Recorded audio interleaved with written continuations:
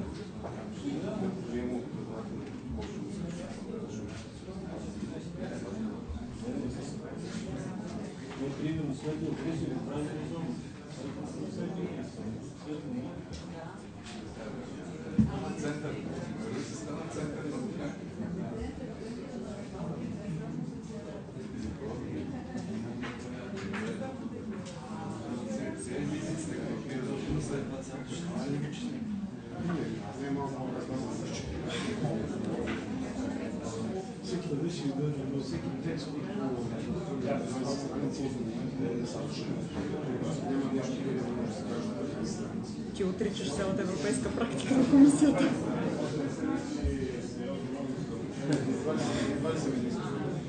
Да, мисля, че тук сме много.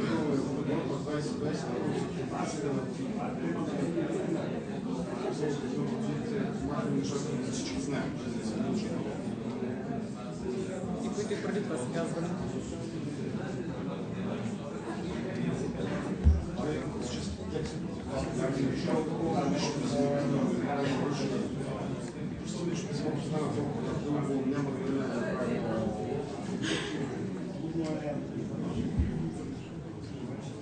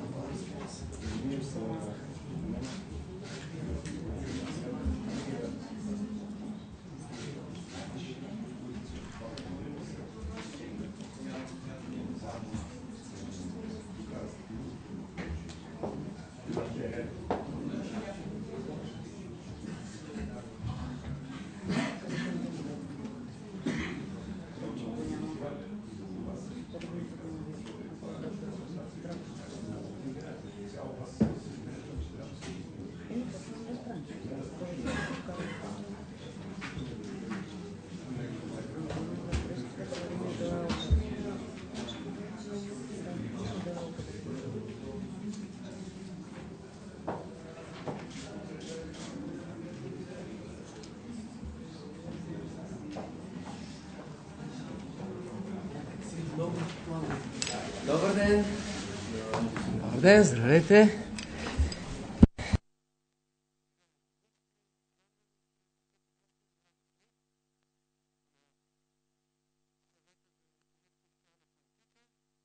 Днешната тема е приобщаващ растеж, заетост и социално включване. Още веднъж добре дошли на всички. Изключително съм ви благодарен. Толкова много лидери, отговорни организации, институции на държавата сте днес отново заедно с нас. Разбира се, темата е изключително важна и аз се радвам, че можем в рамките на дискусиите, които вървят и дебатите в президентската институция, но и на много други места, наистина да търсиме заедно с вас решението по дългосрочните приоритети и решения в рамките на България 2020. Темата приобщаващ растеж, заетост и социално включване дава възможност наистина на всеки един от нас да заяви много ясно приоритети, решения по тях, дългосрочни, краткосрочни и ние много внимателно ще слушаме, за да бъдем максимално полезни в рамките на работата по България 2020 заедно с правителството. Винаги съм гарантирал, категорично съм заявявал, отново ще го повторя, моето категорично убеждение е, че без економическо развитие трудно може да говорим всяко друго развитие на една нация, на една държава. Економическото развитие е в основата на а, просперитета. От тази гледна точка а, просперитета, освен економически, но и социален такъв, а, ние искаме днес заедно с вас да фокусираме своето внимание върху тези толкова важни теми. Развитието на регионите вече беше тема на предишния съвет, регионални и национални приоритети. Имахме съвети по темата с конкурентно способност и инвестиции, приоритети в образованието и науката, иновациите и днес логично стигаме и до темата с социалните политики, мерките за растеж и заетост. Всичките те интегрирани в рамките на усилията на всички политически партии, българските институции да направим една качествена широко припозната легитимна национална програма за развитие България 2020. Европейските приоритети също ще бъдат интегрирани. Европа говори за интелигентна, устойчива и преобщаваща платформа за растеж. И а, разбира се, инициативите за растеж са в дневния ред в момента на всички европейски държави. Знаете много добре каква е ситуацията с европейската економика. Виждаме цифрите, те са достатъчно притеснителни и а, Европа очевидно не излиза вече четвърта година от тежката криза, която стартира през 2008 година и краткосрочно не виждаме и такива перспективи. Именно това ни мотивира, знаеки, че сме в труден и тежък период, да се държим отговорно, да взимаме важни решения, знаеки, че растежа не може да бъде купен просто от днес за утре. Преди да има силен растеж в Европа, трябва преди всичко да създаде потенциал за растеж. А потенциал за растеж се създава с държавнически решения, реформи и разбира се, таргетирани усилия на много институции с правилните механизми за подкрепа. Днес също така ние ще коментираме и темите, които са свързани с проблемите на безработицата и генерално заетостта в България, социалното преобщаване и разбира се борбата с бедността. Европа изгуби в последните 20 на години около 40% от своята конкурентно способност прямо Америка. Това са цифри, които са публични и ясни. Очевидно този проблем трябва да бъде адресиран. Да, Европа е най-голямата економика в света. Едно прекрасно сплотено семейство на демократични държави. От друга гледна точка света се променя драматично, бързо и за съжаление цифрите показват, че трябва да бързичко да възстановим нашата конкурентна способност генерално като а, европейска общност, но и всяка една от държавите по-отделно трябва да намери своите правилни решения. Необходими са политики в а, посока на стимулиране на стабилността и растежа. Никой не е против това. Това, което лично мен ме очудва, е, че като че ли а, буквално в последните два месеца в Европа политиците се сещат, че трябва да се говори, трябва да се прави растеж. Аз мисля, че това не е така. И аз мисля, че всеки политик в деня, в който е избран и получил доверието на хората, той прави растеж. Той прави економическо развитие. Друг е въпроса с какви резултати. Истината е, че говорейки за растеж, ние няма да постигнем растеж, аз съм убеден, че политиците и до сега са се опитвали и са давали всичко от себе си, за да постигнат растеж. Много е важна темата, има много аспекти, структурни реформи, фокус, приоритети и понякога, ще го кажа много ясно, думичката растеж за някои от държавите, каза го многократно, също и в Чикаго на среща с голяма част от а, политическите лидери и световни лидери. А, освен растеж, трябва да говорим и за прогрес. И за някои държави, за да постигнат прогрес, по-скоро ще трябва първо да падат, а не да растат, докато стигнат до стабилно ниво, на което след това да могат да надграждат. Защото истината е, че в последните 20-30 години в Европа, благодарение на лесни пари, бързо раздадени кредити, е създадено благосъстояние, изкривени са някои от секторите в економиката, и разбира се, за мен е важно честният дебат във всяка една от държавите. Кое е устойчиво? Кое беше просто плод на неефективни или изкуствено създадени двигатели на растежа? Кои са истинските двигатели на растежа? И наистина, кои са работещите мерки за всяка една от държавите по-отделно да създадем заетост и економическа перспектива колкото може по-бързо? Виждате, че а, примерно България взе мерки във втората половина на 2009 година и нашето развитие економическо е по-скоро един ел. ние бяхме в втората половина на 2008, началото на 2009 година, началото на 2009 година паднахме с 5,5% и оттам нататък сме на дъното, като растем с може би 0,1, 0,5, 1%, но България е един ел. Същевременно в Европа, за да избегнат и търсики бързото възстановяване, се изляха планини от нов дълг в последните 4 години. Ако видим статистиката колко е дългът общо на европейските държави през 2008 година и в началото на 2012 година, ще се убедим, че планините от дълг са се увеличили драматично, растеж не видяхме. И е много важен този баланс не само за България, но за Европа. Можем ли отново да напомпаме планините от дълг, надявайки се, че ще има растеж. Има ли универсална формула или всяка една държава, всеки един елит намира правилните реформи, мерки, застава за тях и работим в посока на устойчив растеж, а за някои държави и прогрес преди растеж. Разбира се, най-важната думичка е създаването на потенциал. Не случайно го казах, когато коментирахме темата с растежа. Потенциал за заетост, потенциал за растеж. И ние сме точно в тази фаза в България. Аз съм ви изключително благодарен, че а, вие сте заедно с нас при дебатирането на тази тема. Демографската криза също трябва да намери своите решения. Днес ще дебатираме и тази тема. Демографските промени, които се случват в последните десетилетия в Европа, а, са много а, притеснителни, много видими. Също се отнася и за България. От тази гледна точка ние търсиме днес също така решения за това как да адресираме темата с нарастващия дял на възрастното население, като тренд от тук нататък и същевременно намаляващия дял на населението в трудоспособна възраст.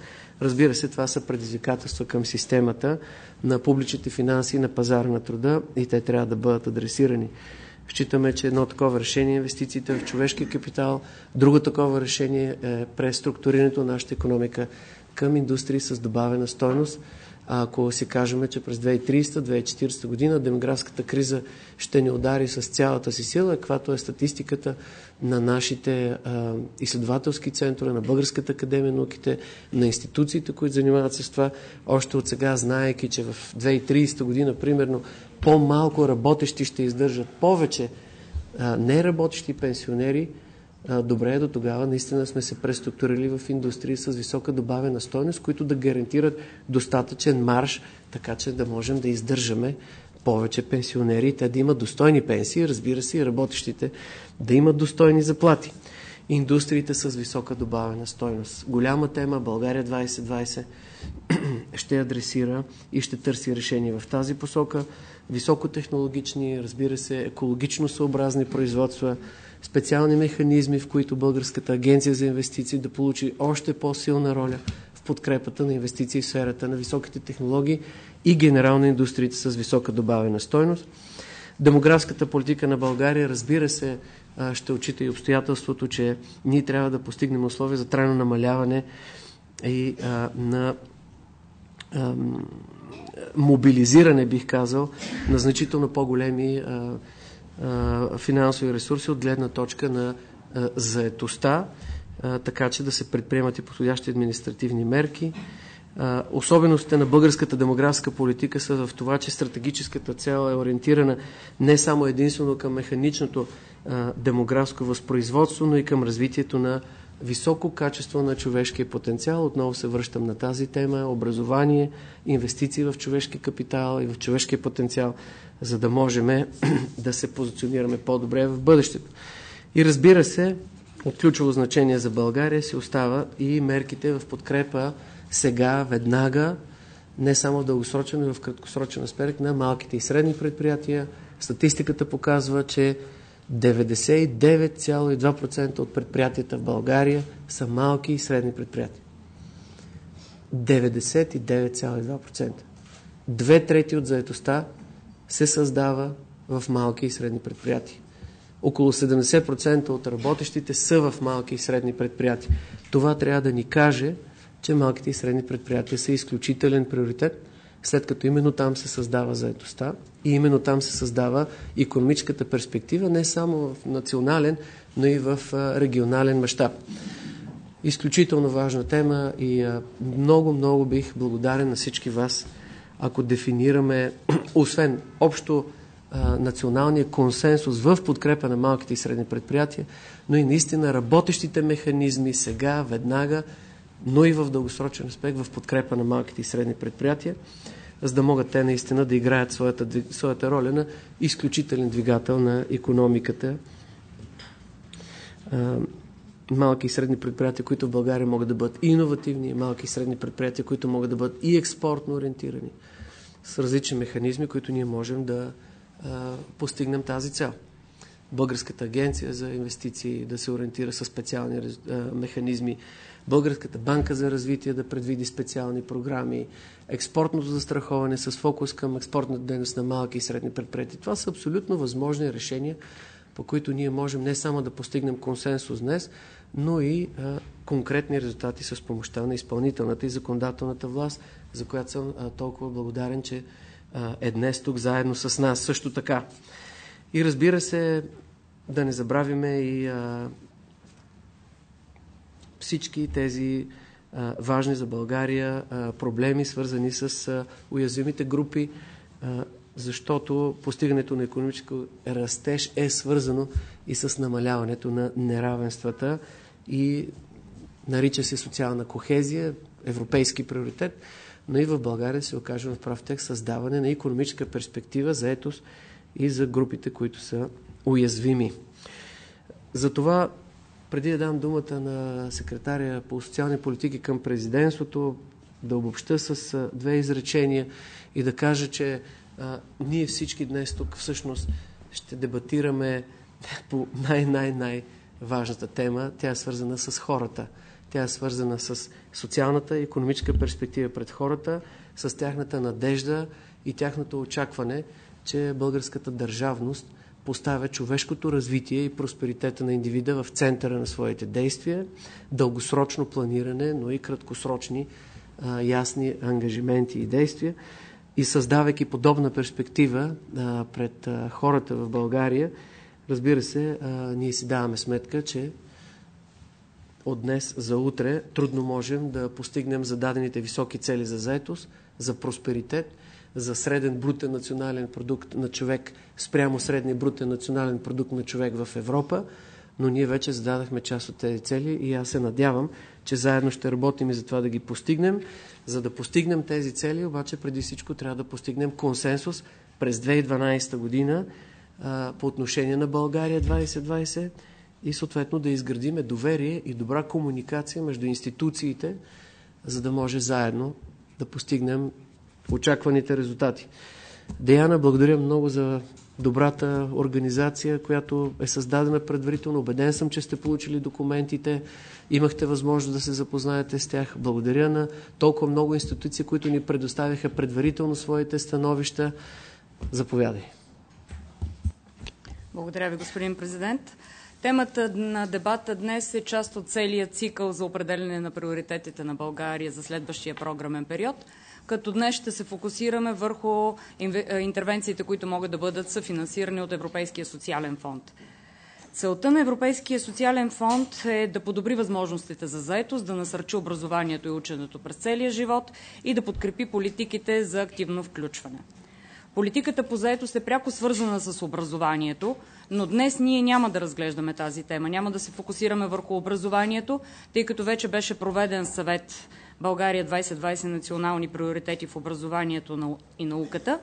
И поради още една причина, решението на Министерски съвет, с което беше определено, че работна група в срок до 30 септември ще разработи целите, приоритетите и мерките в областта на образованието и науката и ще предложи финансови инструменти за тяхното финансиране.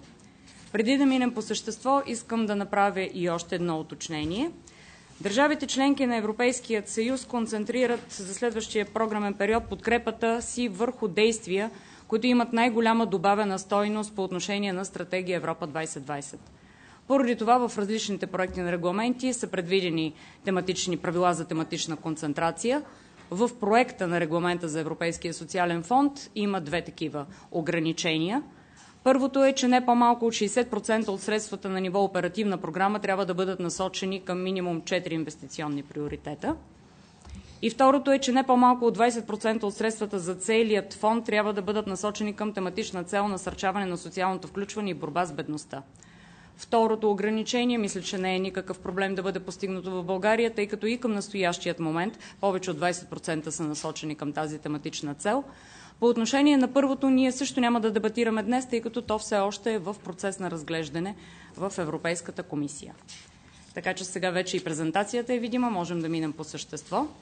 Тематичните цели, които са определени в проекта на регламент са насърчаване на заетостта и подкрепа на мобилността на работната сила, инвестиране в образование, придобиване на умения и обучение през целия живот, насърчаване на социалното включване и борба с бедността и засилване на институционалния капацитет и ефикасна публична администрация. Предвид темата на съвета, ние ще се концентрираме днес върху първите три. В рамките на, всеки един от, на всяка една от тези тематични цели сме предложили инвестиционните приоритети, които да бъдат подкрепени. Те са разписани в документа, с който вие предварително се запознахте. Няма да ги изброявам, тъй като това са инвестиционни приоритети, формулирани в проекта на регламент и ние днес няма да дебатираме върху техните формулировки. По-скоро днес ще се опитаме да минем отвъд административните формулировки и да успеем да стигнем и да се обединим около това, кои са конкретните области за въздействие, които искаме да подкрепим, за да можем да постигнем едно качествено и устойчиво гарантиране на човешкия капитал в България. Първата област, която предлагаме, това е инвестиции в нови умения и нови работни места. В рамките на тази основна област има няколко поднаправления – в период на криза, при излизане от нея и в последваща рецесия, економиката на страната се проструктурира. Това естествено води и до преструктуриране на пазара на труда. Така че подкрепата за създаване на работни места и преразпределението на работната сила трябва да бъде насочена към дейности, които са устойчиви, към сектори и предприятия в етап на растеж, най-вече сред малките и средните предприятия. В годишния обзор за растежа за 2012 година Комисията набелязва три основни области, които разполагат със значителен потенциал за разкриване на работни места. В пакета за заетост, който беше лансиран тази година, е дефинирана и конкретна препоръка за подкрепа за създаване на нови, подчертавам, нови работни места в три сектора. Екологосъобразната економика, тъй като Прогнозата на комисията е, че само в секторите енергийна ефективност и възобновяеми енергии е възможно до 2020 година да бъдат създадени в Европа над 5 милиона работни места. Втората област – здравеопазване и социални грижи, е определена въз основа на тенденциите за застаряване на населението и постоянно растящият брой на услугите, с които се цели да се отговори по-добре и по-качествено на потребностите на хората. И третата сфера – това е ИКТ, информационни и комуникационни технологии. Тъй като заетостта сред специалистите в ИКТ нараства с около 3% годишно в Европа, като търсенето на работна ръка все още продължава да е по-голямо от предлагането. В този смисъл са необходими целенасочени инвестиции в придобиването на нови умения на работната сила и за създаване на нови работни места в отрасли, които са способни да генерират економически растеж. В рамките на тази първа област предлагаме и още два подприоритета. Инвестициите в здравето на работната сила и условията на труд са пряко свързани с повишаване на производителността на труда. И в този смисъл те са без альтернатива, ако искаме да постигнем по-производителна и по-качествена работна сила. По отношение на втората тема, подобряването на работата на обществените служби по заетост е едно основно условие, за да могат да бъдат изпълнявани политиките за заетост. И ако искаме те действително да спомогнат за постигането на целите на тези политики, ние трябва да се постараем да ги превърнем в агенции за управление на прехода, т.е. да подпомагат работниците при преминаването от една на друга работа през целия професионален а, стаж, който те имат.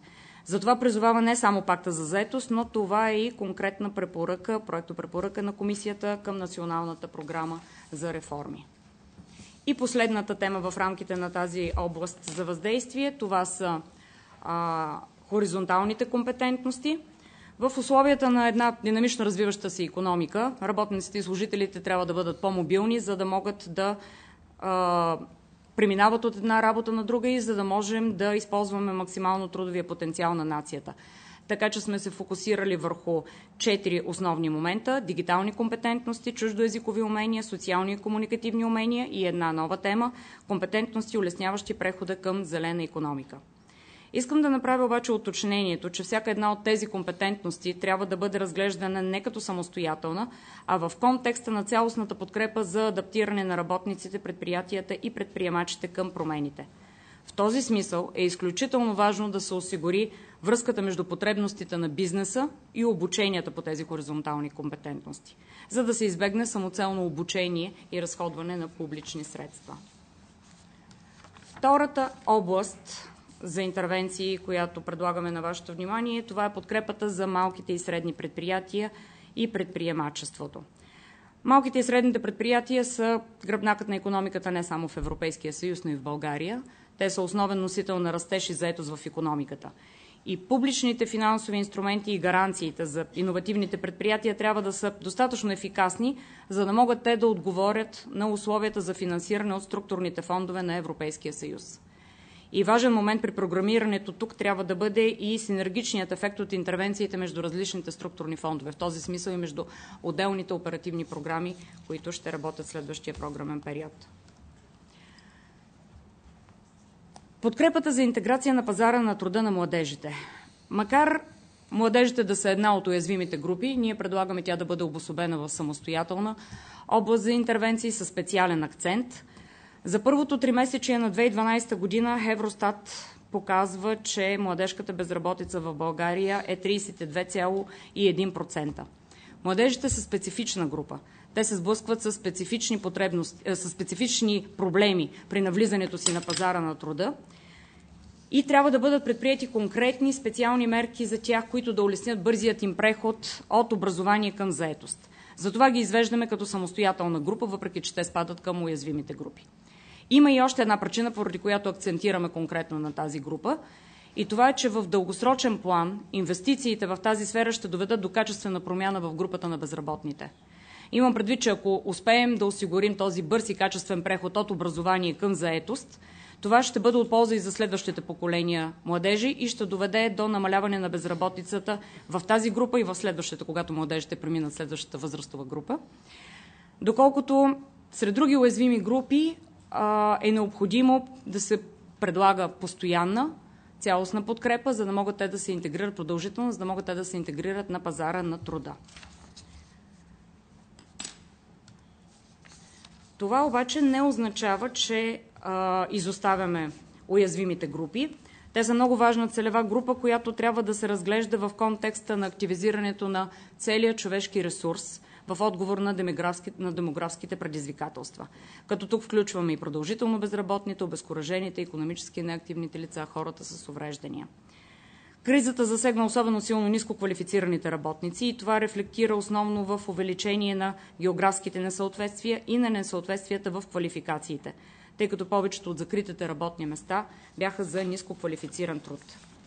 Тези интервенции обаче е необходимо да бъдат обвързани с последваща заетост, тъй като, тъй като това, ще, това ще даде възможност не само да подкрепим тези хора да се интегрират веднъж, но и да останат в заетост – за тази целева група, която по принцип е трудно да намери трайно и качествено работно място. Съжалявам, че забавих слайда. На него виждате възможните интервенции, които биха могли да бъдат предприяти по отношение на тази целева група. Третата тематична цел, за която споменах, насърчаване и социално включване и борба с бедността. България държавата е сред държавите, в които рискът от бедност за население след социалните трансфери и делът на хората в материални лишения е над средното равнище за Европейския съюз. Комбинираният индикатор показва 42% през средно за Европейския съюз 23,4%. В тази връзка самата Европейска комисия поставя като цел осигуряване на по-голямо и по-ефикасно използване на фондовете. За това е формулирана и тематичната концентрация от минимум 20% да бъдат насочени към тази, тематич... към тази тематична цел. Основният риск за изпадане в бедност на преобладаващата част от домакинствата се определя от тяхната економическа активност и от участието им на пазара на труда, като по-специално рискът е за няколко целеви групи. Това определя и националната цел, която си е поставила България – намаляване на броя на живеещите в бедност с 260 хиляди до 2020 година, към която са дефинирани четири специфични подцели – децата, възрастните хора, безработните и работещите бедни. С дефинирането на тези специфични подцели се прави връзка и с националната цел за постигане на равнище на заетост до 2020 година от 76%. В тази връзка и с оглед на предизвикателствата, които проистичат от застаряване на населението, системата за дългосрочна грижа, която обхваща и възрастните хора, и хората с увреждане, следва да се адресира и към нуждите на семействата, които полагат грижи за зависими членове. Трябва да се разширят възможностите за домашна грижа и да се модернизират съществуващите социални услуги, както и много важен момент да се разкриват иновативни междусекторни услуги. Развиването от мрежа от достъпни услуги следва да насърчи и създаването на така наречените бели работни места, т.е. работни места в сферата на здравеопазването и социалните услуги, за което призовава и Европейската комисия.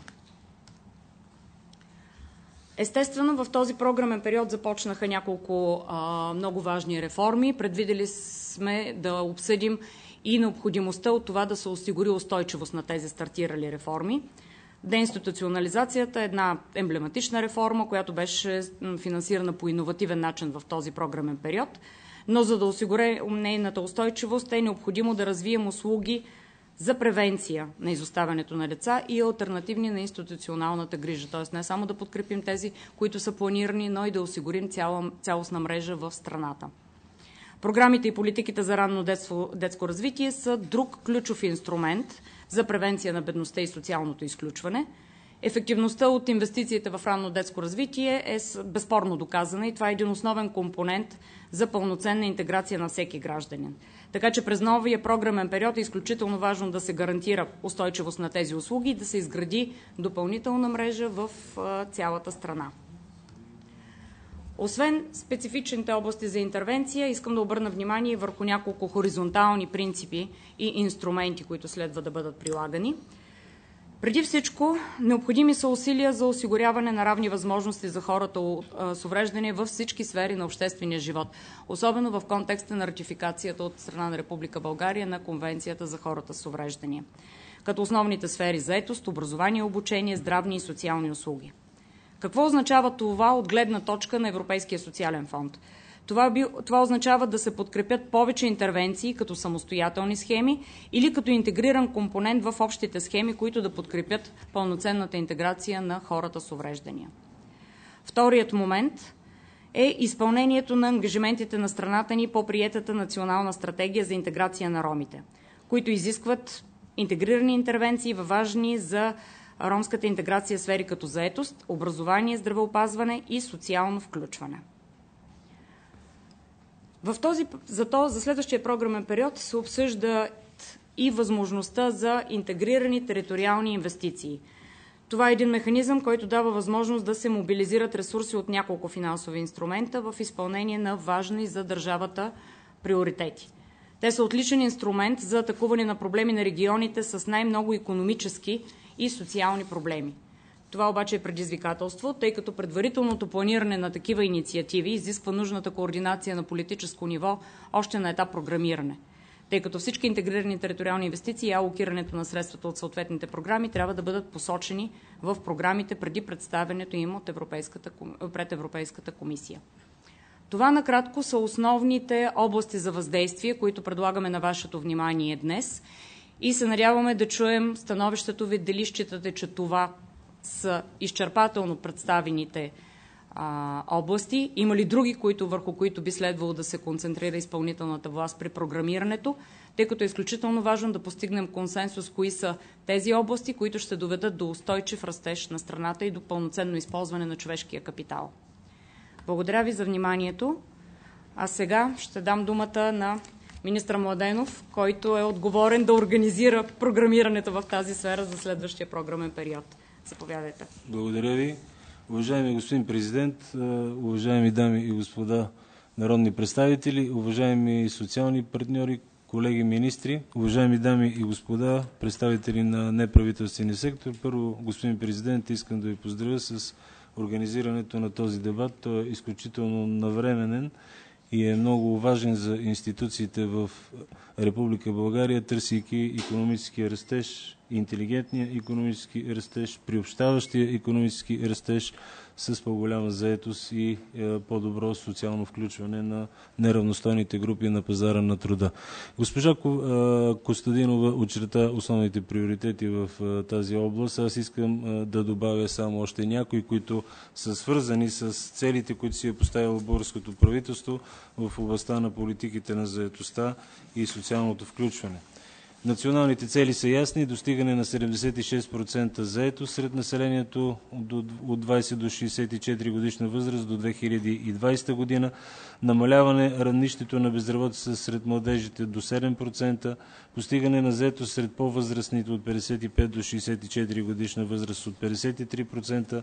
Национална цел намаляване броя на живеещите в бедност с 260 хиляди души до края на 2020 година намаляване броя на децата в риск за бедност с 78 хиляди души, намаляване броя на децата на 60 на на лицата на 65 и повече навършени години в риск бедност с 52 хиляди души, намаляване броя на безработните в риск от бедност с 78 хиляди души, намаляване броя на работещите бедни в риск с 52 хиляди души. Стратегическите документи, господин президент, са прияти от Министерски съвет и, и именно това са актуализираната стратегия по заетост на Република България 2013-2020 година, Националната стратегия за намаляване на бедността и насърчаване на социалното включване 2012-2020 година, Дългосрочната стратегия за заетост на хората с увреждания 2011-2020 2020 година, Националната стратегия за демографско развитие 2012-2030 година, Националната концепция за активния живот на възрастните хора 2012-2030 година,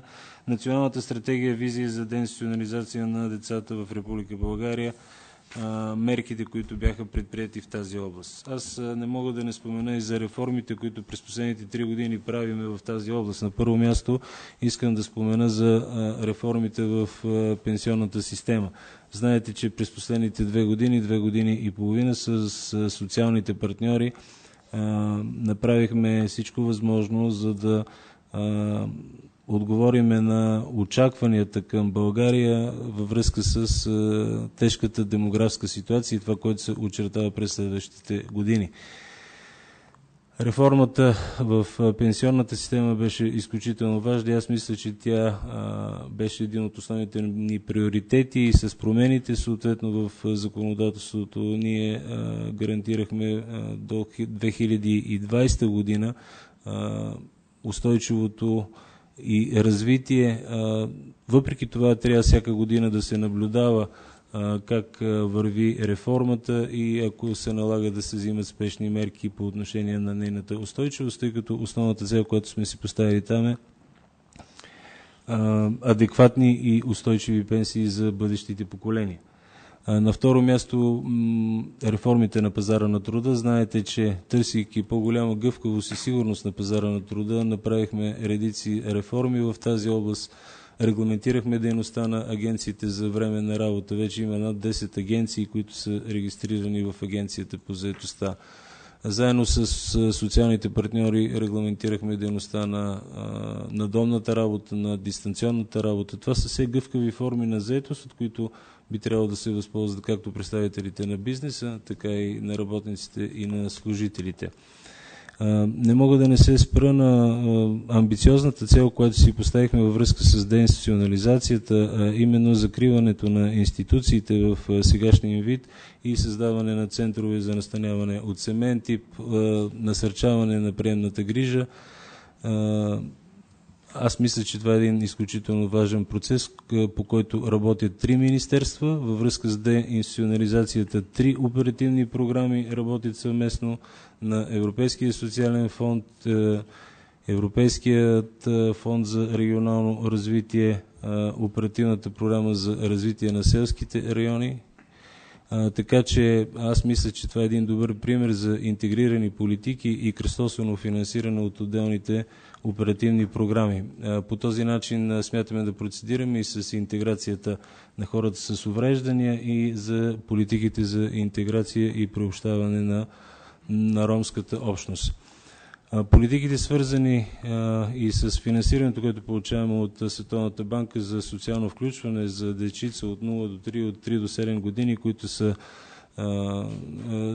Целта е над 100 000 деца и техните семейства още до края на тази година да започнат тези над 70 центъра, които създаваме в цялата страна имаме подписани договори с общините, а именно предоставянето на социални и здравни услуги на децата и на родителите, включително на децата с увреждания и на а, децата от етническите младсинства. Целта е да дадем равен старт на всички деца за първи клас. Това е изключително важно и още от най-ранна детска възраст да ги откъснем от тяхната среда и да ги приобщиме към към всички деца в нашата страна. Това е изключително важен проект. Той върви добре и мисля, че неговите резултати ще бъдат добри и устойчиви. Всичко това през призмата на Европейския социален фонд. Знаете, че Европейския социален фонд е инструмента за инвестиция в човешкият ресурс. Това е единствената оперативна програма, уважаеми господин президент, уважаеми дами и господа, което е има толкова широк кръг бенефициенти, които могат да се възползват от нея. Това са безработните, това са заетите лица, това е бизнеса, това е неправителствения сектор, това са местните власти, това са заетите лица.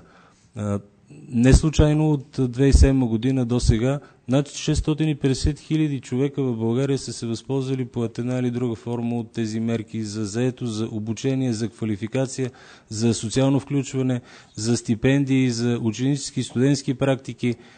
Изключително важна програма и тя все повече трябва да достига до широк кръг от българското население. Ние в момента показваме резултатите първите резултати и не случайно с тези 28 фото изложби, които правим в цялата страна, искаме да покажем с какво се промени живота на българите а, а, и на тези български граждани, които участваха под една или, форма, а, под една или друга форма с, от, по линия на Европейския социален фонд по всичките тези мерки и програми с министъра на образованието, въпреки че не е тема на днешното заседание, ще продължим работа по отношение на обучението, квалификацията, най-вече връзката между професионалното образование и нуждите на пазара на труда. Това е изключително важно, за да можем да отговорим на интересите на бизнеса в един по-дългосрочен план за нужда от квалифицирана работна ръка.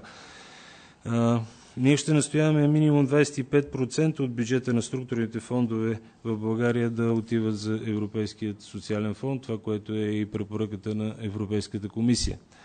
А, също така ще настояваме не по-малко от 20% от средствата на Европейския социален фонд да отиват за социално включване. Това е изключително важно. А, знаете, че започнахме много проекти, които смятаме да ги продължим и през следващия програмен период по отношение на личните асистенти, е, домашни, домашни помощници, е, интегрираните услуги, които предоставяме, социални и здравни услуги по домовете за възрастни хора, за хора с увреждания, за хора в неравностойно положение. Е, така че смятаме да, да продължим тези политики. Искам също така да кажа няколко думи по отношение на заетостта. Знаете, господин президент, уважаеми дами и господа, че през месец март Българското правителство прие национална инициатива за работа на младите хора в Република България 2012-2013 година. В тази връзка на 6, на 6 юни Лично премиера подписа заедно с социалните партньори, с синдикатите, с работодателите националното споразумение за първа работа за младите хора, където освен държавата по линия на Европейския социален фонд, по линия на Националния план по заедостта и бизнеса и синдикатите поеха също конкретни ангажименти. Аз мисля, че това е един добър знак за, за подкрепа на тези политики. И действително това е кауза вече, господин президент. Първата работа на, на младите хора в Република България Кауза е вече за всички институции в нашата страна и аз се надявам, че тя ще доведе до, до успех, защото това е изключително важно за развитието на бъдещите поколения, особено на пазара на труда. Това са само част от нещата, които исках да споделя. Искам да ви уверя, че заедно с социалните партньори, заедно с неправителствения сектор, заедно с местните власти, ние ежедневно с социалната комисия в парламента, ежедневно дебатираме тези въпроси и искам да ви уверя и аз съм убеден, че след днешната ваша инициатива, господин президент, ние действително ще отиваме към консенсус на тези политики, които са изключително важни за следващия програмен период и економическият растеж и заетостта ще бъдат един от нашите приоритети. Благодаря ви още веднъж.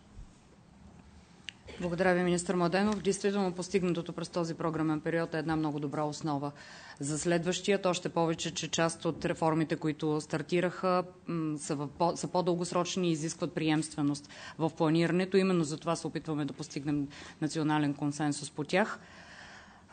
Министър Дончев, от гледна точка на цялостното планиране за следващия програмен период, как виждате това, което предложихме? Господин президент, уважаеми колеги, ще се опитам да бъда изключително кратък. Сигурен съм, че не сме се събрали тук, за да правим дискурс на очевидното, така че ще се опитам да не повтарям неща, които са казани, както и ще се опитам да кажа неща, които има малка вероятност да бъдат повторени след мен. На първо място искам да изразя удовлетворение от това, което беше представено, анализът на ситуацията в социалната сфера, общия, общите контури на предложените мерки до голяма степен съвпадат с това, което имаме като междинен, все още не като окончателен резултат от работата на междуведомствената работна група. Това ниво на консенсус, което имаме между документа и това, което беше представено днес, е добра новина. Добра новина е, защото означава, че няма принципен концептуален спор по част от нещата. Остава да се уточняват малко или много оперативни, оперативни детайли. На второ място, според изчислението, които имаме към момента от Европейския социален фонд за следващия програмен период, ние ще може да разчитаме на финансиране между 3,6 до 4 милиарда лева според различните оценки и според различните сценарии. Да не забравяме, че все още нямаме прияти регламенти. Но е, тук искам да отбележа, че въпреки че фокуса често попада на въпроса колко, претендирам, че той не е най-важният най-същественият въпрос. Далеч по-съществен е въпросът как. И този въпрос е изключително важен, критичен. Е, няма да се притесня да кажа думата болезнен за редица сфери и ще си позволя да насоча вниманието Ви върху тях. На първо място подкрепям напълно казаното от господин президент, че търсенето на модел, алгоритъм на решаване на голяма част, разбира се, не на всички от социалните проблеми, не бива да се базира само единствено на по същество социални мерки. Инструментариума в тази сфера включва и дейности в друга посока. Сърчаване на предприемачеството, съдействие за самонаетите и помощ за малките и средните предприятия.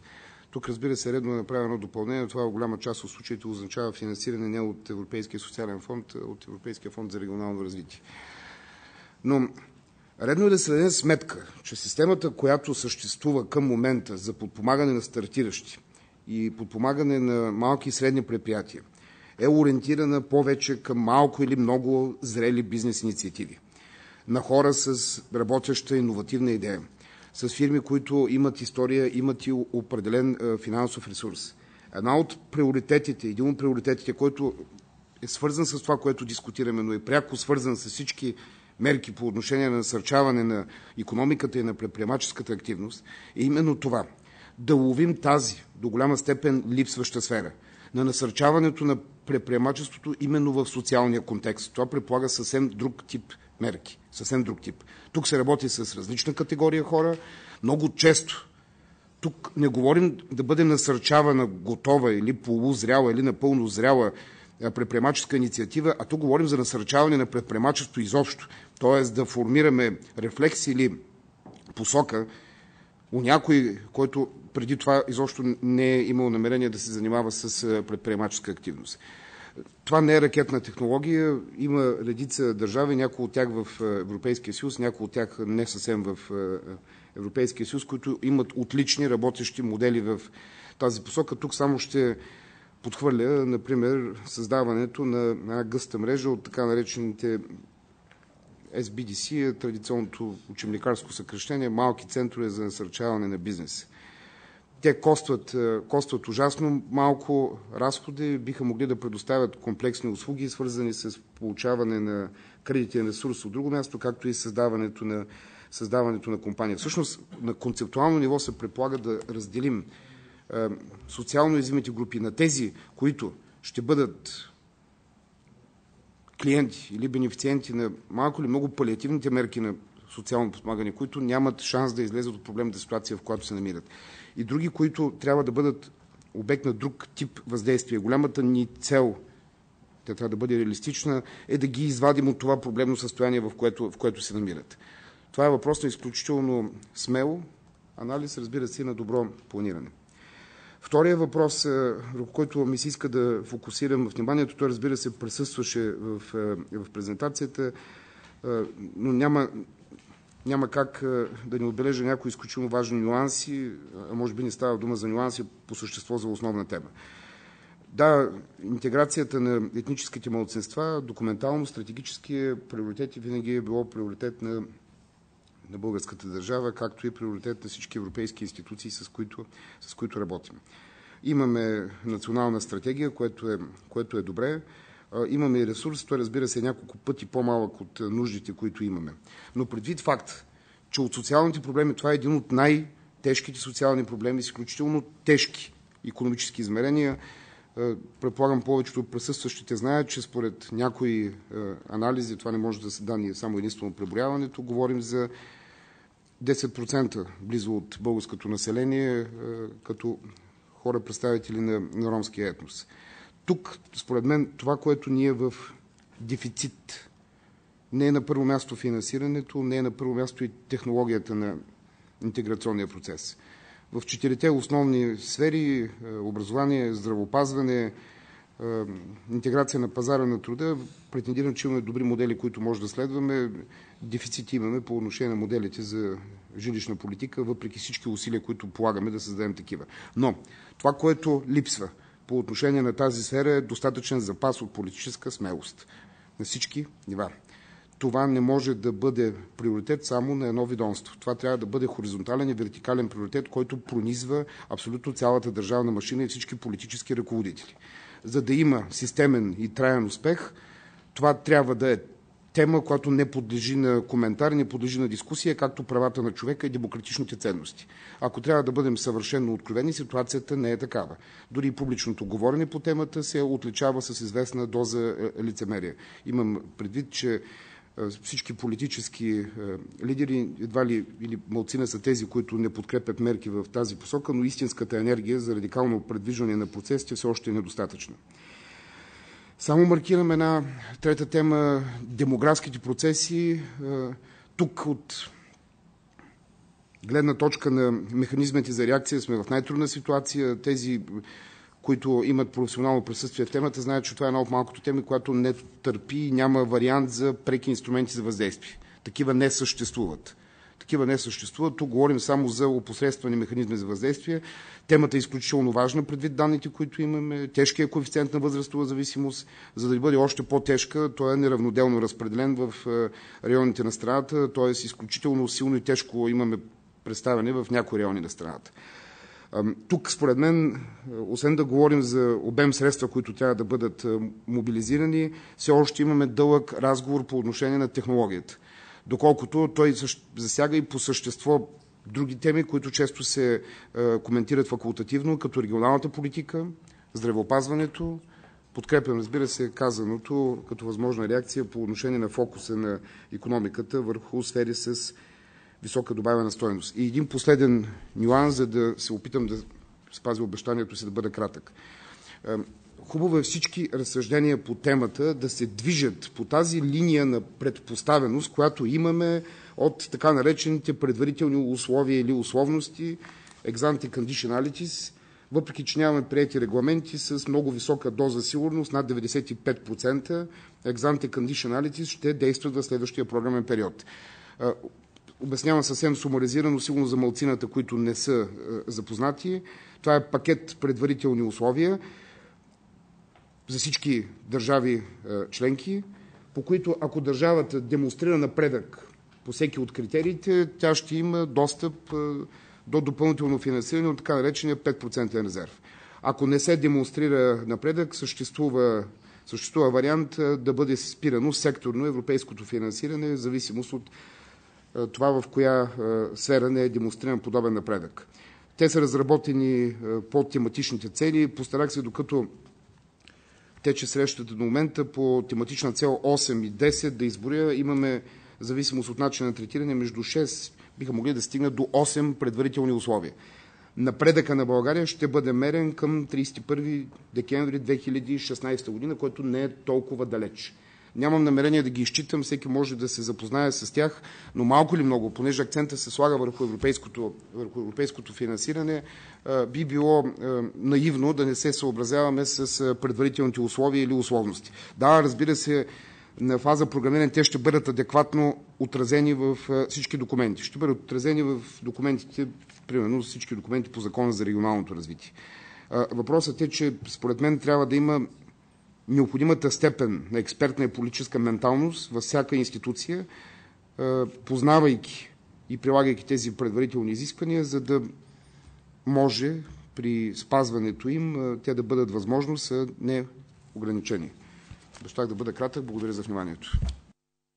Благодаря, министр Дончев. Преди да чуем позицията и на останалите представители от изпълнителната власт, ще имаме възможност да чуем и законодателната. Госпожо Ангелова. Благодаря, уважаеми господин президент, уважаеми министри, Уважаеми дами и господа, искам първо да благодаря за поканата и възможността да присъствам на днешното заседание на Съвета за економическо развитие и социални политики под наслов Приобщаващия растеж в контекста на заедостта и социалното включване.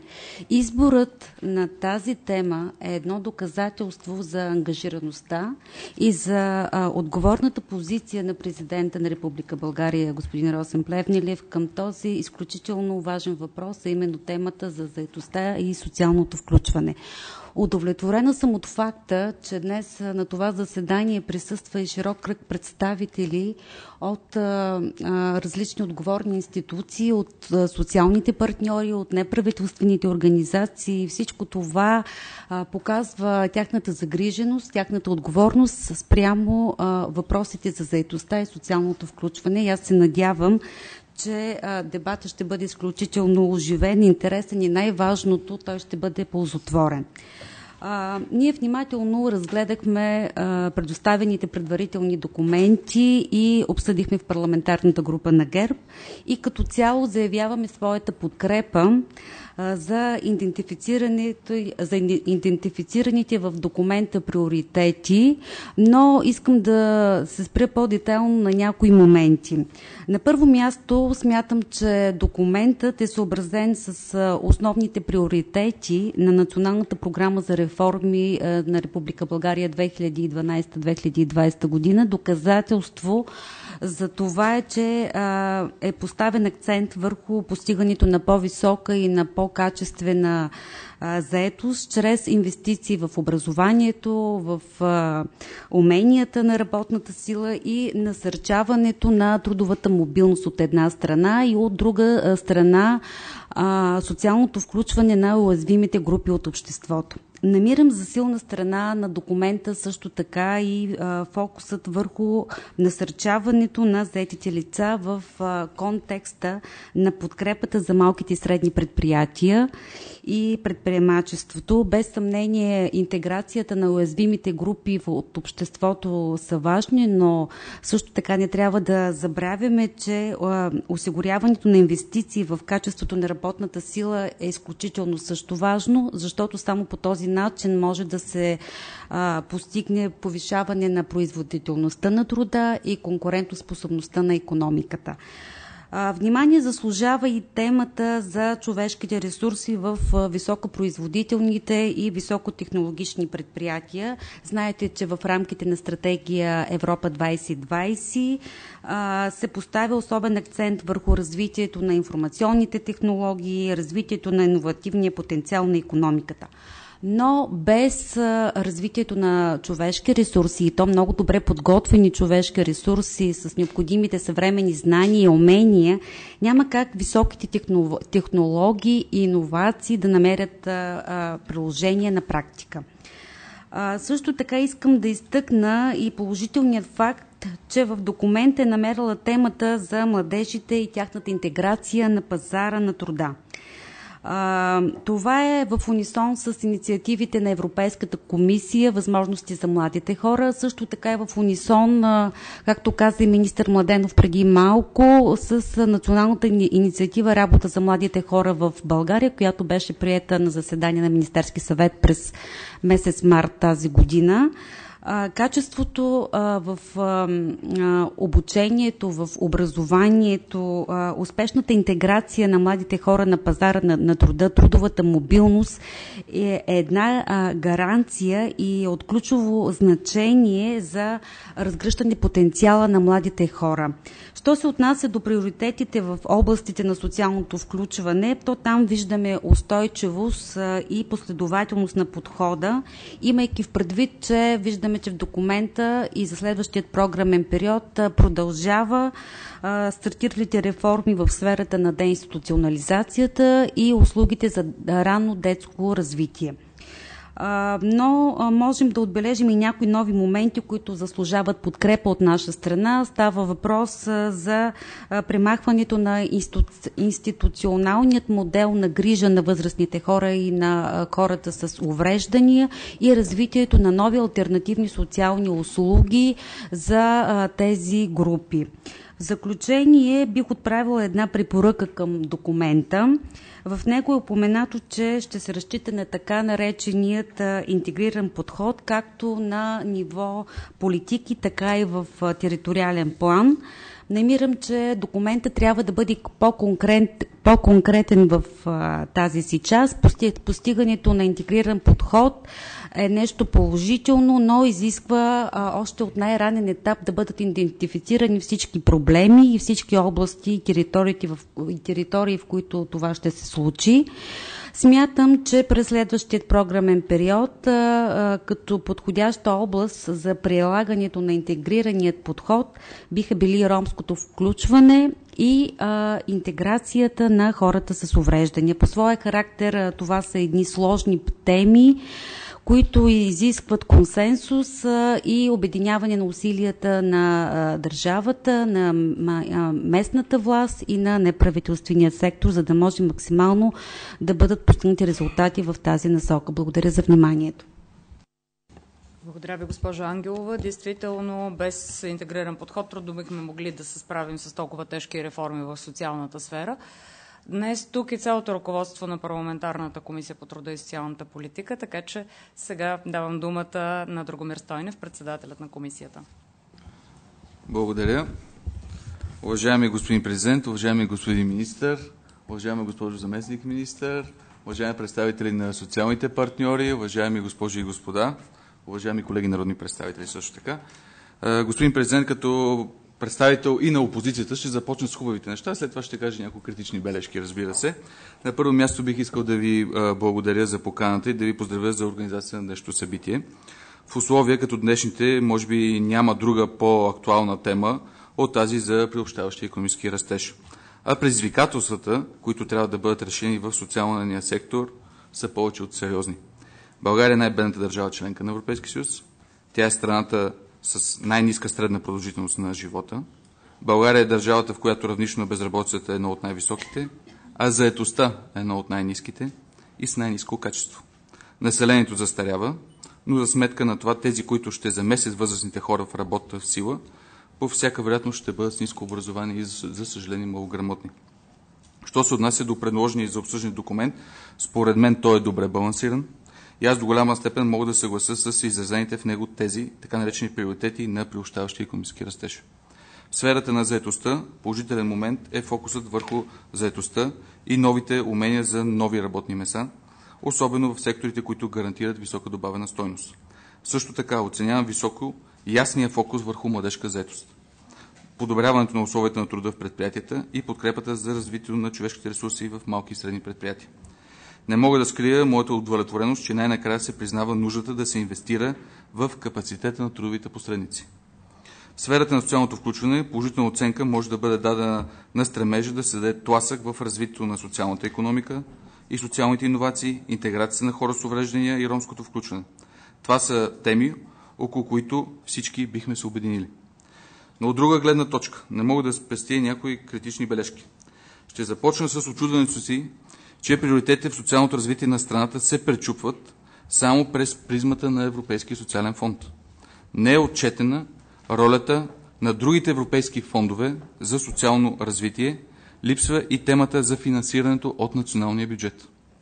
Второто обстоятелство, което също ме очудва твърде много, е отсъствието на тема образование в документа. От изказването на госпожа Костадинова разбрах защо образованието е отделено, но а, не можем да говорим за заетост без да говорим за връзка пазар на труда и образование. От името на Българската социалистическа партия, господин президент, ние ще настояваме през следвания програмен период да бъде създадена оперативна програма, програма образование и наука. Считаме, че именно в днешно време образованието трябва да стане национална кауза. Кауза, върху която всички политически партии ще се обединим и ще получите нуждата подкрепа. Но няма как да говорим за конкурентоспособна економика, за висока производителност, за високи доходи, без да имаме образовано население. Следващия ми коментар е свързан с оповестените наскоро препоръки на Европейската комисия по изпълнението на Националната програма за реформи на страната. Аз лично очаквах да видя в документа отговор на тези препоръки. Например, да се покаже как ще стане възможно равнището на младежка безработица от сегашните 30% да падне под средните за Европейския съюз равнища. Другият въпрос е свързан с преразглеждането на пенсионно-осигурителното законодателство, за да се ограничат възможностите за ранно пенсиониране. Ако бъде допълнително затегнат достъпа до пенсия, ще се осигурят ли възможности за засегнати осигурени лица да остават по-дълго на пазара на труда, например чрез преквалификация? Също толкова важен е въпросът за интеграция на хора с увреждания. В препоръката на Европейската комисия е казано, че трябва да се подобри администрирането на осигурителните обещетения за инвалидност. Как ще стане това? Надявам се, че няма да е чрез упражняване на административен произвол върху хората с трайно намалена работоспособност, а чрез превенция на заболеваемостта, осигуряване на възможности за профилактика и рехабилитация и по-надежден превентивен контрол. Така или иначе този въпрос не е засегнат в документа. Незасегнат стои въпросът за подобряване адекватността на социалните трансфери. От препоръките на Европейската комисия става ясно, че трябва да се помисли за подобряване адекватността на пенсиите, т.е. увеличаване на техните размери. Също се отнася и за семейните помощи, социалните помощи и материалната подкрепа за хората с увреждания. Техните размери са замразени от 2009 година сам и това е основната причина системата за социална защита да има толкова нисък принос за намаляване на бедността в Република България. Говорейки за намаляване на бедността, следва да се постави въпроса за така наречените работещи бедни. По-настоящем 8% от заетите лица живеят под прага на бедността. На следващо място искам настойчиво да препоръчам след така наречените инвестиционни приоритети да бъдат включени допълнително още два. Първият инвестиционен приоритет е активно и здравословно стареене. Вторият – равенство между жените и мъжете и съвместяване на личен и професионален живот. Единият се аргументира с тежката демографска ситуация, вторият с факта, че мерките за съвместяване на личния и семейния живот, особено в големите градове, са един от най-ефективните начини за по-пълно позатворяване на трудовия потенциал на нацията. Ще приключа с два коментара по избрания подход за реализация на приоритетите по отношение на новите умения за нови работни места и социално включване. По отношение на първата тема, смятам, че подходът не е изчерпателен. Следва да бъде обърнато много по-голямо внимание на участието на бизнеса при планирането и осъществяването на инвестициите в обучението на работната сила. Нужно е да се акцентира върху информирането на работниците и служителите относно техните трудови и социални права от една страна и в системите, които осигуряват защита на тези права. И накрая, по отношение на избрания подход за решаване на проблемите с социалното включване. Тук мнението ми е, че той трябва да бъде ревизиран изцяло. Нужни са подобрени в три направления.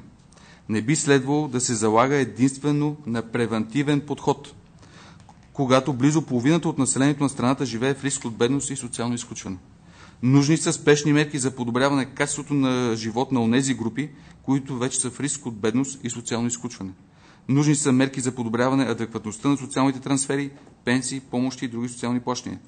Преди да се осигури устойчивост на стартиралите реформи в социалния сектор, трябва да се направи конкретна, детална оценка на техните резултати. Благодаря ви за вниманието. Благодаря ви, господин Стойнев. Не мога да не изкажа удовлетворението си от подкрепата, която дадахте за документа. А по отношение на част от препоръките, които давате, те безспорно са изключително значими и ще бъдат, ще бъдат взети предвид, но бих искала да дам един конкретен отговор на някои от въпросите, които повдигнахте тук. Защо документът е структуриран само върху Европейския социален фонд? Това е формата, в който заседаваме днес, да може да определим кои са приоритетите, които да бъдат включени в следващата оперативна програма. Затова не сме се концентрирали върху интервенциите, които могат да бъдат финансирани през държавния бюджет и през а, другите финансови инструменти. По отношение на а, интегрирания подход чрез различните финансови инструменти, това безспорно е изключително важен елемент и той ще, ще бъде взет предвид при програмирането. А участието на бизнеса е нещо, което ние се опитваме непрекъснато да подчертаваме, че без участието на бизнеса не бихме могли нито да имаме адекватно образование, нито последващо обучение през целия живот. Действително върху образованието не се концентрирахме по причините, които изложих. Благодаря ви много. Доктор Адемов, заповядайте. Благодаря ви, госпожо Костадинова. Уважаеми господин президент, уважаеми господин министр, госпожо заместник министр, уважаеми социални партньори, представители на неправителствения сектор, колеги. Господин президент, приветстваме идеята на президентската институция да се търси надпартиен консенсус по залагането на ключови приоритетни направления в основата на програмирането за 2014-2020 година, които ще се финансират по линия на Европейския социален фонд. Съзнаваме изключителната отговорност да се обединим около тематичните цели, които да бъдат включени в договора за партньорство на Република България за програмния период на многогодишната финансова рамка на Европейския съюз от 2020 година. Ние от Движението за права и свободи разглеждаме тази ваша инициатива като търсене на възможност за формулиране на координиран национален отговор на предизвикателствата на приобщаващия растеж, заетостта и социалното включване в контекста на Стратегията на Европейския съюз 2020 и Националната програма за развитие България 2020. За нас заетостта ще бъде тема номер едно не само до края на това десетилетие, а за напред, защото заетост означава социална сигурност, заетост означава финансова стабилност, заетост означава прилични доходи, заетост означава не на последно място и национална сигурност. Затова решаването и формулирането на всички тези проблеми, свързани с качествената заетост, а не заетост изобщо, защото през последните групи, години имаме примери и на така наречената временна заетост, която не води до нарастване на брутния вътрешен продукт, решава някакви временни конъюнктурни проблеми, но в никакъв случай не води до качествена устойчива заетост. Според нас изборът на стратегическите цели, приоритети и области на въздействие за развитието на пазара на труда и социалното включване през следващите години трябва да съответства на дългосрочните цели, заложени в Националната програма 2020. Не бива в никакъв случай да има разминаване между тези цели, за да може да разчитаме на адекватно финансиране от Европейския социален фонд и естествено адекватно съфинансиране от националните от националния бюджет. Това, което бих могъл да добавя към представения документ, като рискови групи при избора на тематични цели и инвестиционни приоритети за средствата от Европейския социален фонд, са разбира се младежите, за които е необходима така една сериозна интервенция, за да може да се реши този проблем, защото младежите са носители на образователен ценз и на потенциал, който да доведе до качествен растеж и до увеличаване на брутния вътрешен продукт и затова те трябва да бъдат приоритет на цел номер едно. На следващото място са, разбира се, продължително безработните, обезкуражените и економически неактивните лица, защото това е контингента, който е отчаян, безнадежден. Това са хората, които по дефиниция са без какъвто да е образователен ценз, хора, които са без каквато и да е професионална квалификация и на практика те са в черния, не дори в сивия сектор. На следващата позиция бих заложил самотните родители, в това число и жените, свързано с проблема за равните възможности. На следващото място са, разбира се, една категория хора в предпенсионна възраст, които са рисков контингент на пазара на труда, хората с увреждане не бива да се изключват лицата от отдалечените региони, от малцинствените групи, които на практика са лишени от възможността до достъп до социални услуги, до образователни, здравни и така нататък потребности. И не на последно място самотните възрастни хора. Няколко думи за настоящата ситуация на пазара на труда, която е известна на всички. 373 524 са регистрираните безработни в края на месец април, което означава 11,4%. Обнадеждаващ е така, резултата, който показва Агенцията по заедостта за месец май. Вече безработица 11% с 0,4% по-малко. Безработните младежи до 29 години през 2010 година са били 21,8%. По данни на Евростат сега разбрахме, че са над 32%. 73 805 са регистрираните безработни в края на месец април. Един показател според националната статистика, който е доста притеснителен, 56,9% е коефициента на заетост на економически активното население, при 76% така, надежда за реализиране на заетост в края на програмния период. Изключително притеснителен е факта, че 12% от заетите са на 4-часов работен ден, което означава, че това са хора застрашени от изпадане в риск от бедност и социално изключване, въпреки че това са мерки, които са свързани с запазването на заетостта под каквато и да форма в условия на криза, при всички положения за бъдеще това ще бъде един проблем за правителствата, които ще управляват страната. 5% от активното население е трайно безработно. Тези обезкуражени са 5%. 12% е намалението на заети за периода 2008-2011 година в условия на криза. Сега един много важен факт, който е свързан с разбирането ни, надявам се всички сме съгласни с обстоятелство, че всеки един лев изхарчен за социална политика трябва да води до социален продукт. Защото в противен случай можем да изхарчим някакви пари и да няма никакъв резултат от това. Тази връзка искам да подчертая, че от 2007 година до сега 650 хиляди са възползвали от възможности на оперативната програма развитие на човешките ресурси, каза преди малко министър Тотио Младенов. За целта изплатените средства от оперативната програма, около 22%, ако не се лъжа, са 510 милиона. И въпреки това Европейската комисия в своите препоръки към България казва, че а, безработните в а, 70% от безработните са ниско квалифицирани. Това е един а, така, аргумент, който трябва да, да наведе на мисълта, че а, трябва да държим изключително много както за освояването на парите от Европейския социален фонд, така и за техното ефективно използване. Аз съм убеден, че Министерството на труда и социалната политика и другите институции, Агенцията по заедостта, Министерството на образованието полагат, разбира се, социалните партньори, тази връзка полагат усилия за ефективно изразходване на тези средства, но има какво да се зажелая в тази посока за в бъдеще.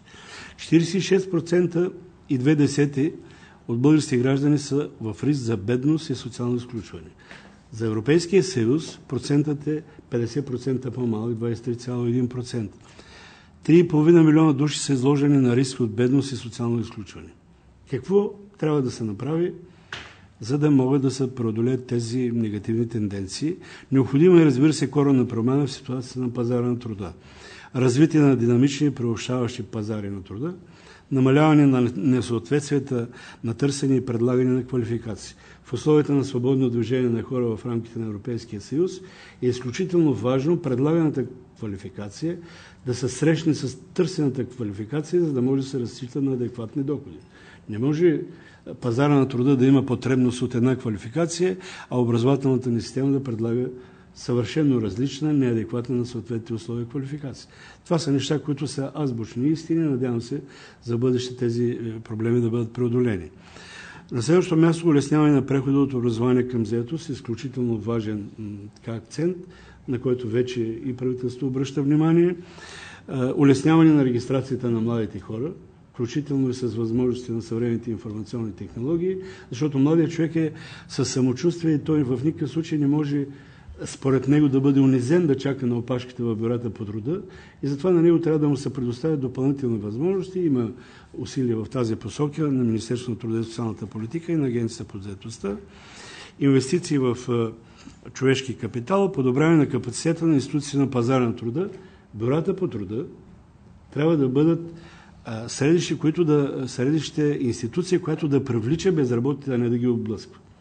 Трябва да бъдат създадени възможности за усъвременяване на институциите на пазара на труда, за да могат те да предлагат по-качествени услуги, включително и психологически услуги, защото безработният човек е човек, който е изпаднал в тежка депресивна ситуация и трябва да му се помогне в така, всички аспекти на този проблем.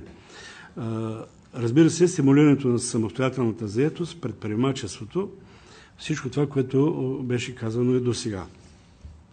Стратегията на Европейския съюз Европа 2020 за интелигентен, устойчив и преобщаващ растеж залага разкриването на 17 милиона 600 хиляди работни места до края на програмния период.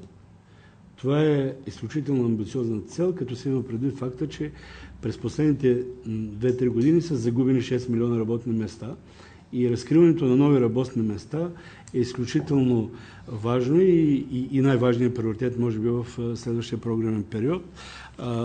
Правилно бяха посочени секторите, в които може да се разчита на разкриване на нови работни места. На първо място, структурните промени в економиката на Европейския съюз предполагат възможности на тези сектори за създаване на нови работни места в ключови отрасли, като екологосъобразната економика с ефективно потребление на ресурси, с ниски емисии на въглероден двуокис, това са сферите, които дават възможност и вече дават своите резултати в рамките на Европейския съюз за разкриване на нови и качествени работни места. Подчертавам качествени и устойчиви, защото това е важно от гледна точка и на квалификацията, от гледна точка и на доходите на тези, които работят в този сектор.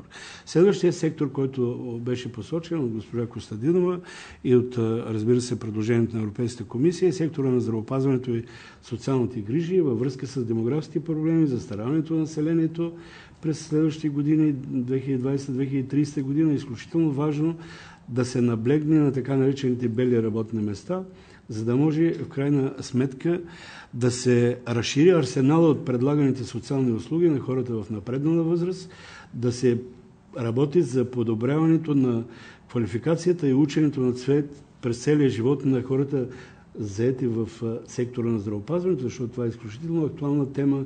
Навлизат нови технологии, не е ясно дали хората, които работят в системата на здравеопазването, имат квалификация да работят с тези така, новости в здравната економика. А, така че това е един сектор, който е а, с огромен потенциал за разкриване на нови работни места.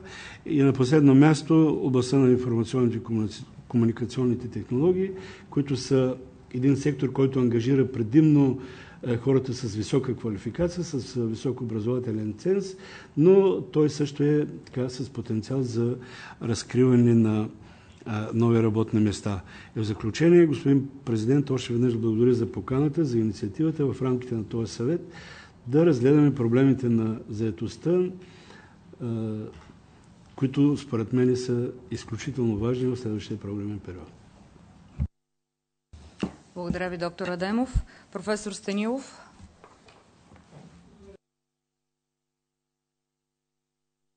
Уважаеми господин президент, уважаеми господа, господа министри, уважаеми колеги и социални партньори, всички, които присъстват тук, аз ще изразя в няколко тези са нашето мнение по проблема, по темата, която разискваме от, така да се каже, от на основата на радикално-консервативната философия, която изповедваме и която се различава от всичко останало.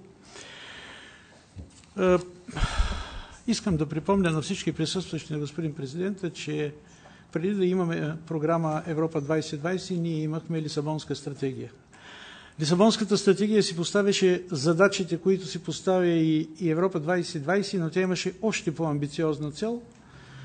Към 2015 година Съединените щати и Япония да бъдат настигнати от Европейския съюз по технологично равнище, което е пряко свързано с темата, която ние, ние обсъждаме.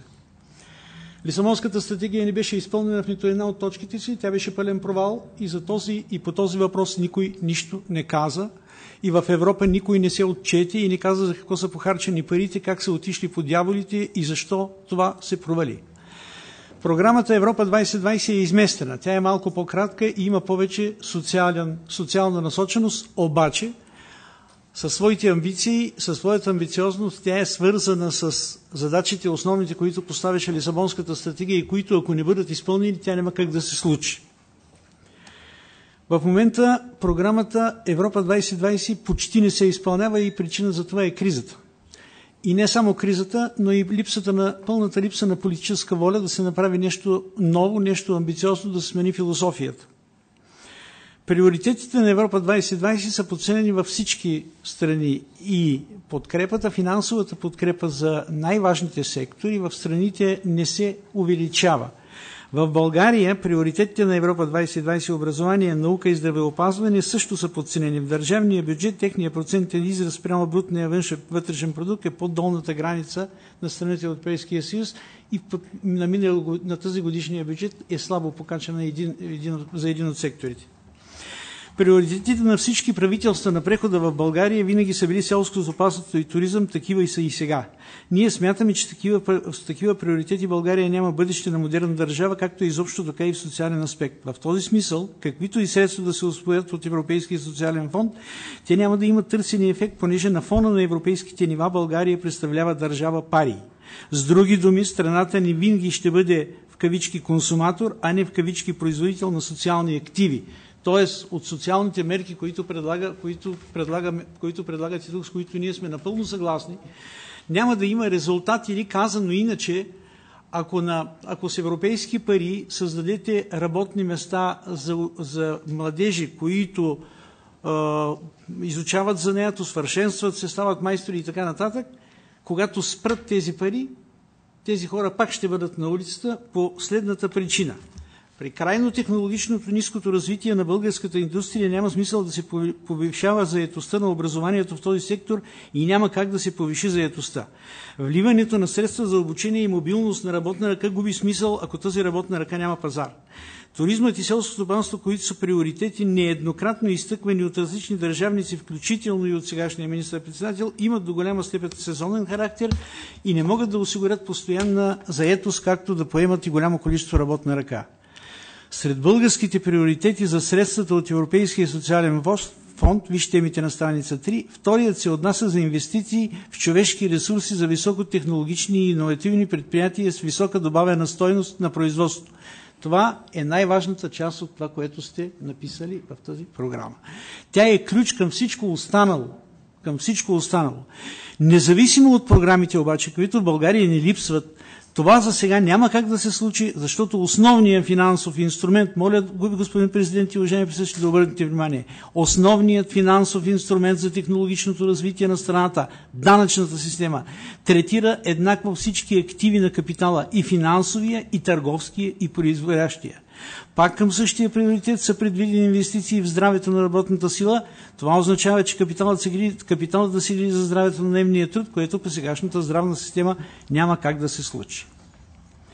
Тоест, докато правителството, законодателната власт и изпълнителната не сменят философията на данъчната система, в която трябва да се дава приоритет на производящия капитал и този, който инвестира в високотехнологични производства и създава работни места в производството, плаща по-низки данъци от този, който изгражда търговски вериги и създава банки, няма как да се случи всичко, за което ние всички, независимо от политическите си възгледи, мечтаем.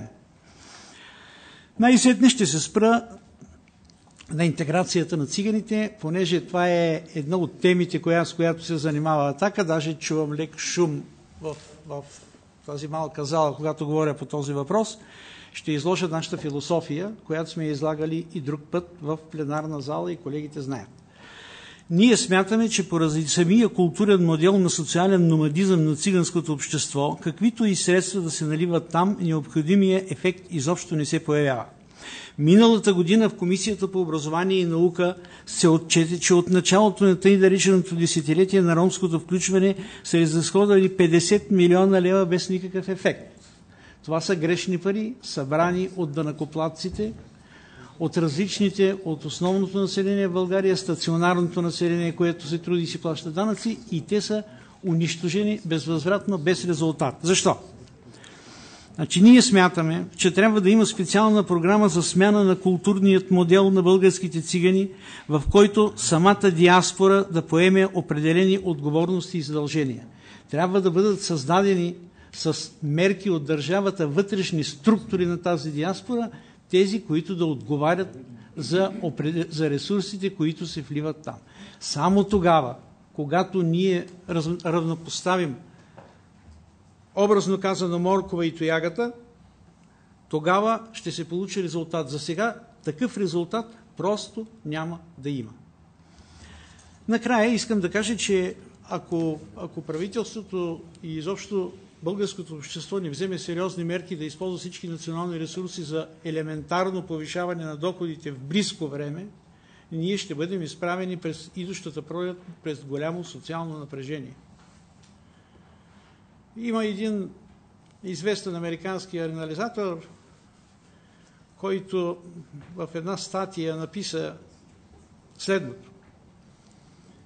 Америка може да бъде провалена само от една единствена социална група. Това е алчната класа на богатите, която мисли само за себе си. Ние обаче тук не сме представители само на тази алчна класа и по тази причина трябва да я накараме да почне да плаща. Да плаща кризата, която тя сама предизвика. Благодаря ви за вниманието. Благодаря ви, професор Станилов. Въпросът, който поставяте за концепцията за интеграция на ромите е действително интересен и така направи ще плавен преход към господин Георги Кръстев, който ще ни представи своята гледна точка по въпроса. В контекста, разбира се, на темите, които разглеждаме днес. Благодаря, госпожо Костинова, господин президент. Наистина преходът е плавен и бих казал и не съвсем. А, аз само ще кажа, че сумата, която каза господин Станилов, не е, не е точна и предлагам да не се спираме на, на нея. Аз си спомням, това беше по време на дискусията за Националната стратегия за интегриране на ромите в Република България. А, знаете, това е, тя беше разработена в контекста на общоевропейската вълна, ако мога така да кажа, на разработване на стратегии, която започна с, решение на, с съобщението на Европейската комисия от април 2011 година. Ние имаме действително наша стратегия и тя е единствената стратегия, прията от Народно събрание, от парламент в целия Европейски съюз. Това е важно, защото показва не само значението, което държавата отдава, но и наличието на политически консенсус, доколкото стратегията беше прията без нито един глас от гласувалите в Народното събрание. Към стратегията има и план за действие, към който се предявяват различни претенции, има предложения. Той, разбира се, е открит за добавяне и той всъщност е, е инструмента, чрез е, който политическия документ е, ще се реализира. За нашата страна този проблем наистина е много тежък. Може би може да се съпоставим с Румъния и някои други източноевропейски държави, доколкото по едни или други причини за старите страни от ЕС, така да се каже С9 и С15, този проблем възникна след разширяването на Европейския съюз. От опита, който имам в, в работата по интеграционните въпроси, бих казал, че действително трябва да се намери начин да се почувства личния ангажимент, личната отговорност. И а, въздействието върху личния начин, на, върху индивидуалния начин на живот от провеждането на интеграционната политика. Изключително важна е ролята на, на, на бизнеса. Създаваните работни места, формирането на навиците, преодоляването на, това, на, на една дълготрайна безработица, която обрича на, как го кажа иначе, освен направо на пълна загуба на жизнена перспектива цели, цели общности.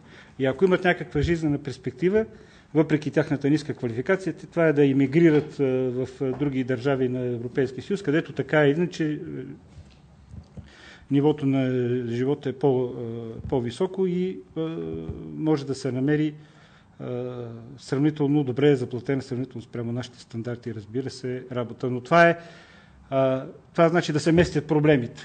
От нашата страна те се местят другаде, обществата там започват да реагират, настъпва криза в културно-интеграционния модел и започват такива вълни към, обратно към България, които изобщо не са полезни и да не кажа приятни за нас. Според статистиката, броят на населението от ромски происход в България е около 4,9. Тоест, нямам, даже имаме а, намаление в абсолютни цифри. Според други а, изчисления, знаете, са 700 хиляди, т.е. 10%, 7%. Тук въпросът не е важно какъв е етнос. Важно е какви са социално-економическите характеристики на, на групите в това население и проблемите, които съществуват на местно ниво, на регионално. Би казал, че до сега като че ли господства подхода, така преобладава, да се изтеглят хората от тези квартали, да се, решението се търси извън тях извън тях. Центровете, които се създават, са извън кварталите. Училищата, които се, в които така се провежда така наречената десегрегационна политика, която казвам така наречената, защото и тя има някакви граници. Например, не може да се десегрегира училище, което е единствено в някое населено място. Това отдавна се говори. А, тоест, идеята е да се, да се изведат хората от тези места. И решението се търси някъде другаде. Може би, и това го виждам в едни последни публикации, е, дискусии в рамките на Европейската комисия, обществото със своите институции трябва да навлезе в тези зони, в тези територии. Там да се изграждат социалните е, центровете за провеждане на социална политика. Там да се инвестира в качеството на, е, на училищата.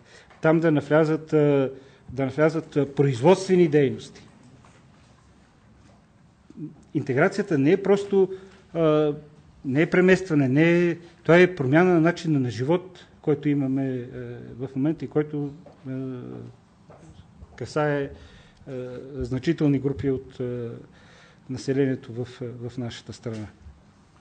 Иначе по темата може да се говори много емоционално, но това, което си мисля, че може би за следващия програмен период трябва да направим е понеже тук става дума колко хиляди човека са минали през програмите, какви средства са изразходвани. Мисля, че сегашните информационни, комуникационни и архивиращи технологии позволяват да се проследи всеки отделен човек от съответната група какъв, какво, какво е получило тези програми. И когато минат няколко години и този човек дойде и каже, ама, нали, аз съм такова и такова положение, от друга страна да се каже, а, какво направи ти за себе си? Защото имаме едно, и с това ще приключа, а, имам усещането, че а, прекалено много се акцентира на това какво се прави за. Какво, какво може да направи държавата в условията на пазарна економика? Да създаде условия да създаде нормативна база, да създаде механизми, да създаде гаранционни фондове или там социални фондове, които да дадат възможност на човек, който е изпаднал и не бих казал за цели групи, нека да не говорим за групи, а за хора, които са изпаднали във времени затруднения, да преодолеят този, този етап.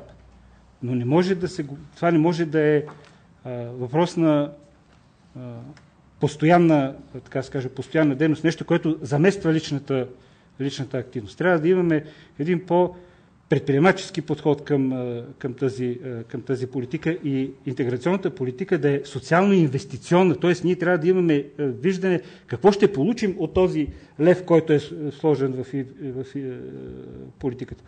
Иначе, действително ще казваме, че трябва да създадем 17 милиона места.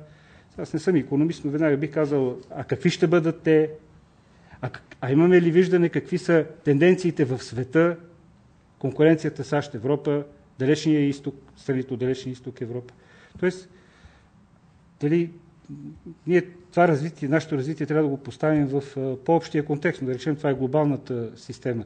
А, вътре а, просто личната отговорност за собствения живот трябва да, да намери своите измерения. Благодаря ви.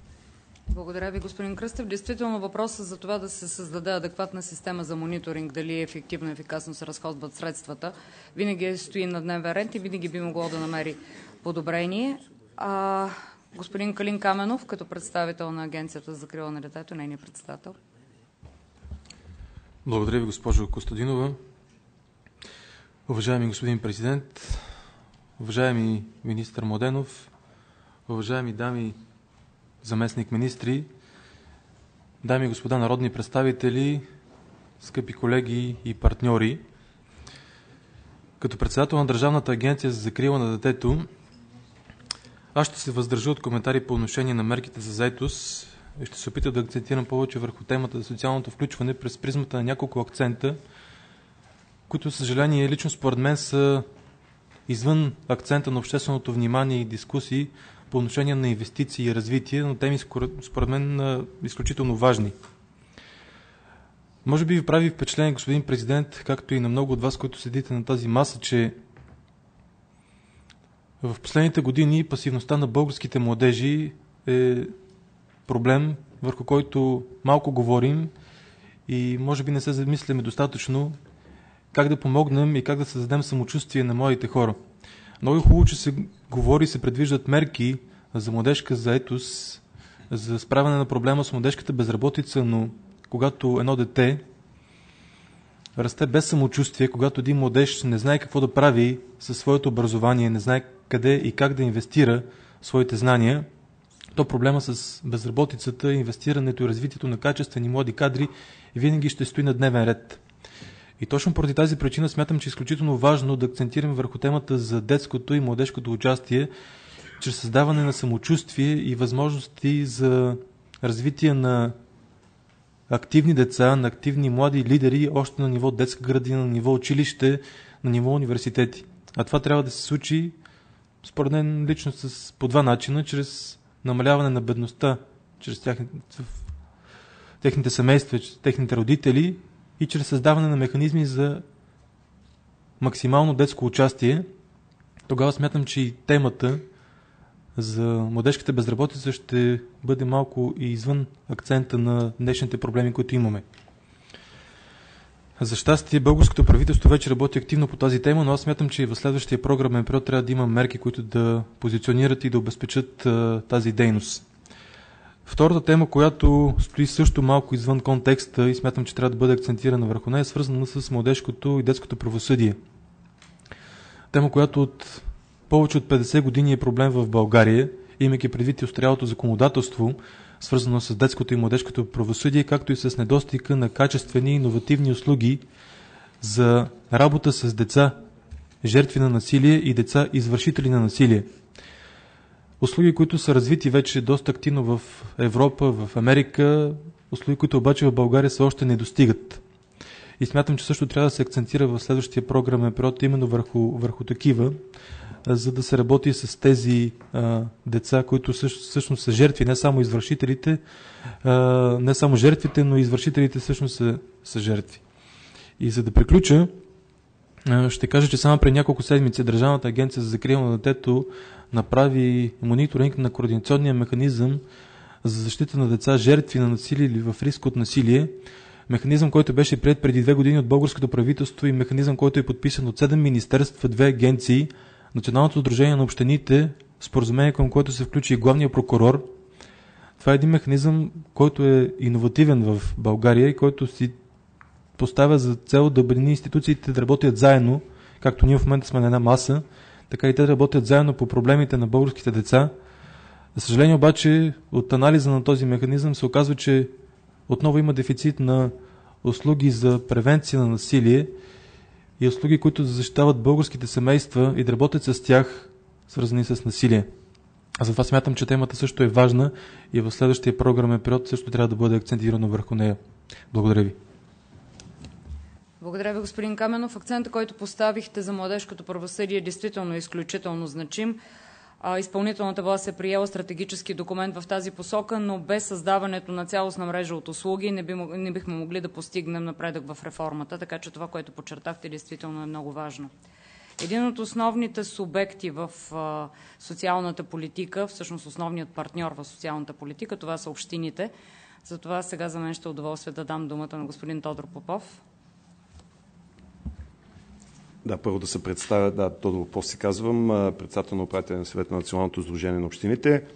Господин президент, господин министър, уважаеми народни представители, скъпи колеги, първо отново за пореден път искам да поздравя президента за тази негова активна позиция по отношение на всички тия важни, важни проблеми и за това, че кани, разбира се, на всички тези съвети местните власти, защото считам, че това е важно наистина да се чуе мнението на, на всички нас, които сме представители на една от най-важните власти в, страната. И за да бъда на нивото на, на, на този академичен формат, ще ще си позволя да бъда безкрайно, безкрайно кратък, защото това е важно, тъй като имаме конкретна тематика, иначе темите са достатъчно обстойни, може да си говорим много по тях.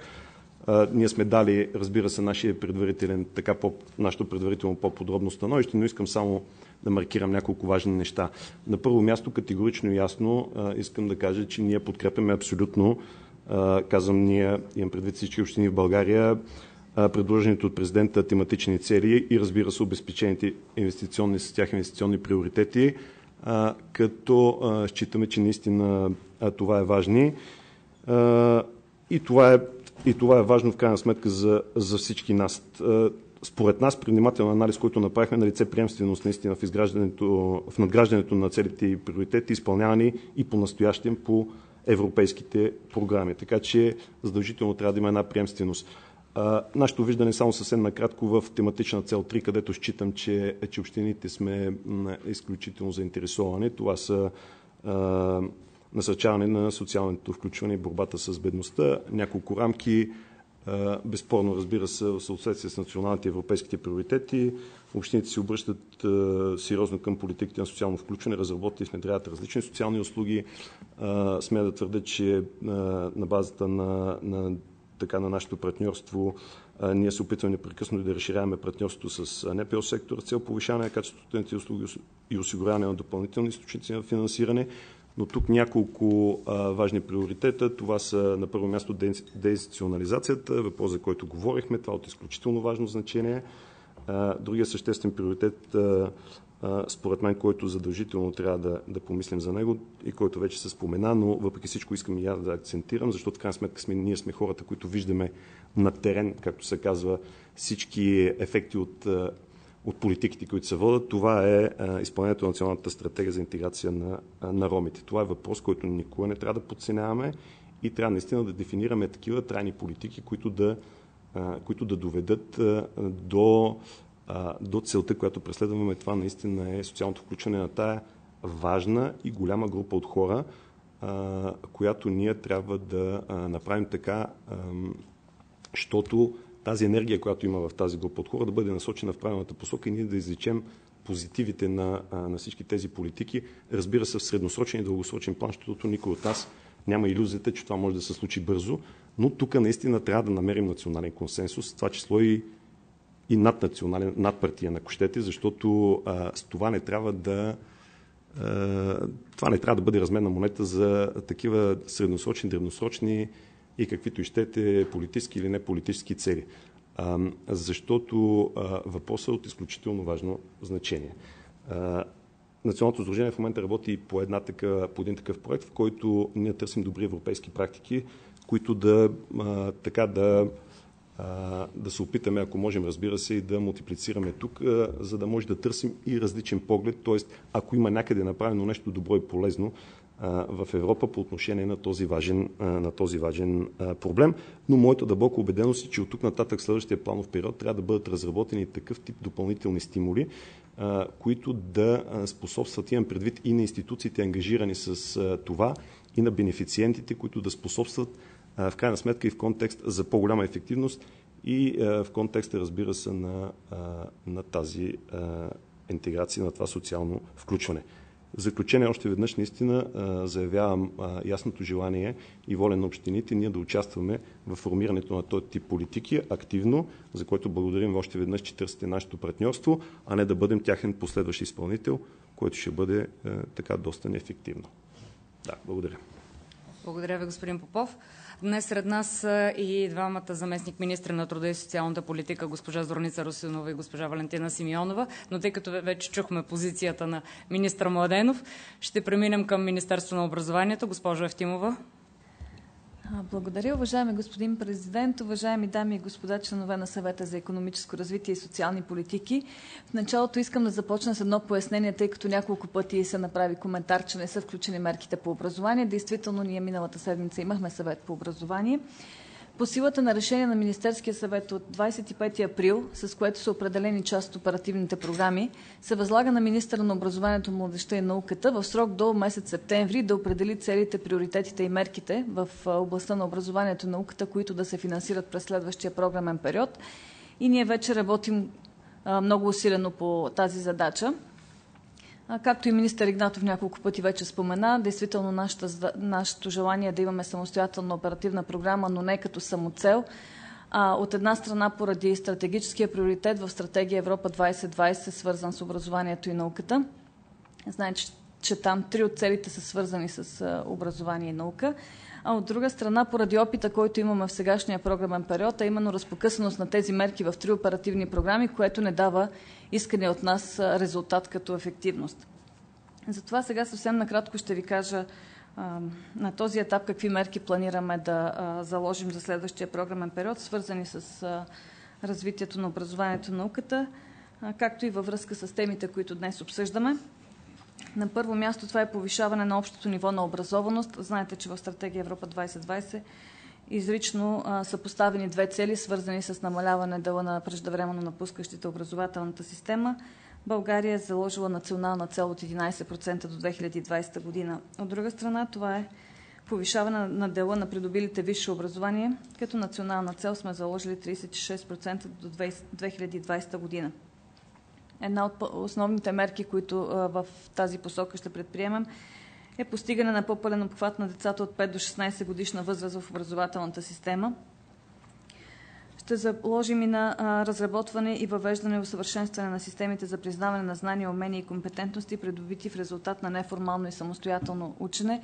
Това е една система, която е дала добър резултат по отношение на пазара на труда в други държави членки осигуряване на възможности за учене през целия живот. Тук искам да спомена, че освен е, Европейския социален фонд, Министерството на образованието, младежта и науката администрира две други хоризонтални програми на Европейския съюз, а именно учене през целия живот с бюджет за тази година около 15 милиона евро и другата програма се нарича Младежта в действие, с която също финансираме проекти, свързани с ученето през целия живот или с допълнителни умения за младежи, свързани с придобити по неформално учене. Ще продължим и въвеждането на целодневната организация на образователния процес в училищата. Това е една мярка, която стартирахме тази година именно със средства от Европейския социален фонд и обхвана учениците до 8 класа в средищните училища. Тази мярка и някои от другите, които ще спомена като образователната интеграция на децата от етническите младсенства, осигуряване на транспорт до средищните училища и други, действително за две години успяхме да постигнем намаляване с 1% на отпадащите ученици. Това е мярка, която е ефективна и ще продължим и в следващия програмен период. Втората основна цел е да повишим качеството на образованието, като а, тук особен, особен акцент ще сложим, разбира се, на връзката с пазара на труда, актуализиране на учебното съдържание. Сега като а, първи етап а, стартирахме няколко покани за набиране на предложения, свързани с разработване на съвместни учебни програми между представители на работодателски организации, големи работодатели и висши училища. Има изключителен интерес към тази схема. В случай, че тя се, покаже, се установи ефективна, ще продължим да я финансираме през следващия програмен период. Ще продължим да залагаме, разбира се, и на подготовката на и повишаване квалификацията както на преподавателите в средното и средното професионално образование, така и в висшето училище. Ще осигурим възможности и за провеждането на практики в реална работна среда. Сега един от най-големите ни проекти е свързан именно с осигуряване на практика в реална работна среда за над 50 000 ученика и над 70 000 студента.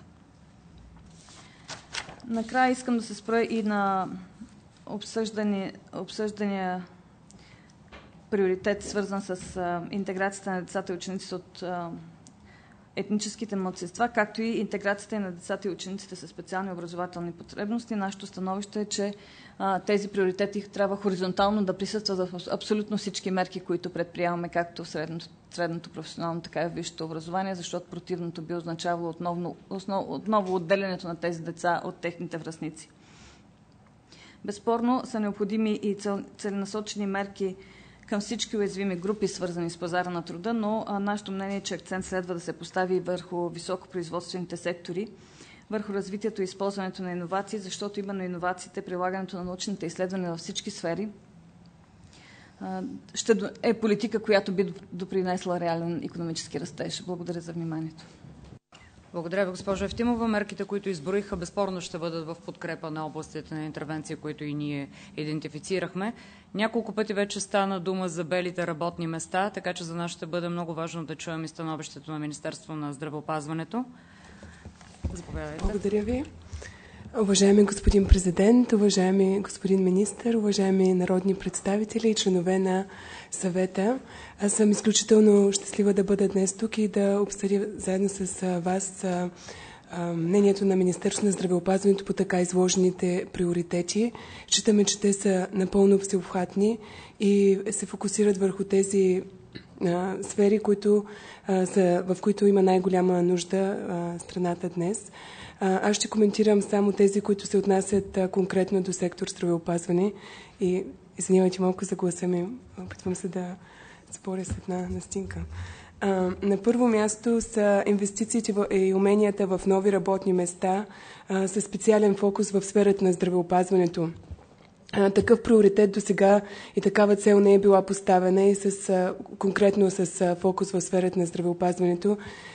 Световната здравна организация само преди две години дефинира капацитета в сферата на здравеопазването или медицинските специалисти като основата за изграждането на една функционираща здравна система.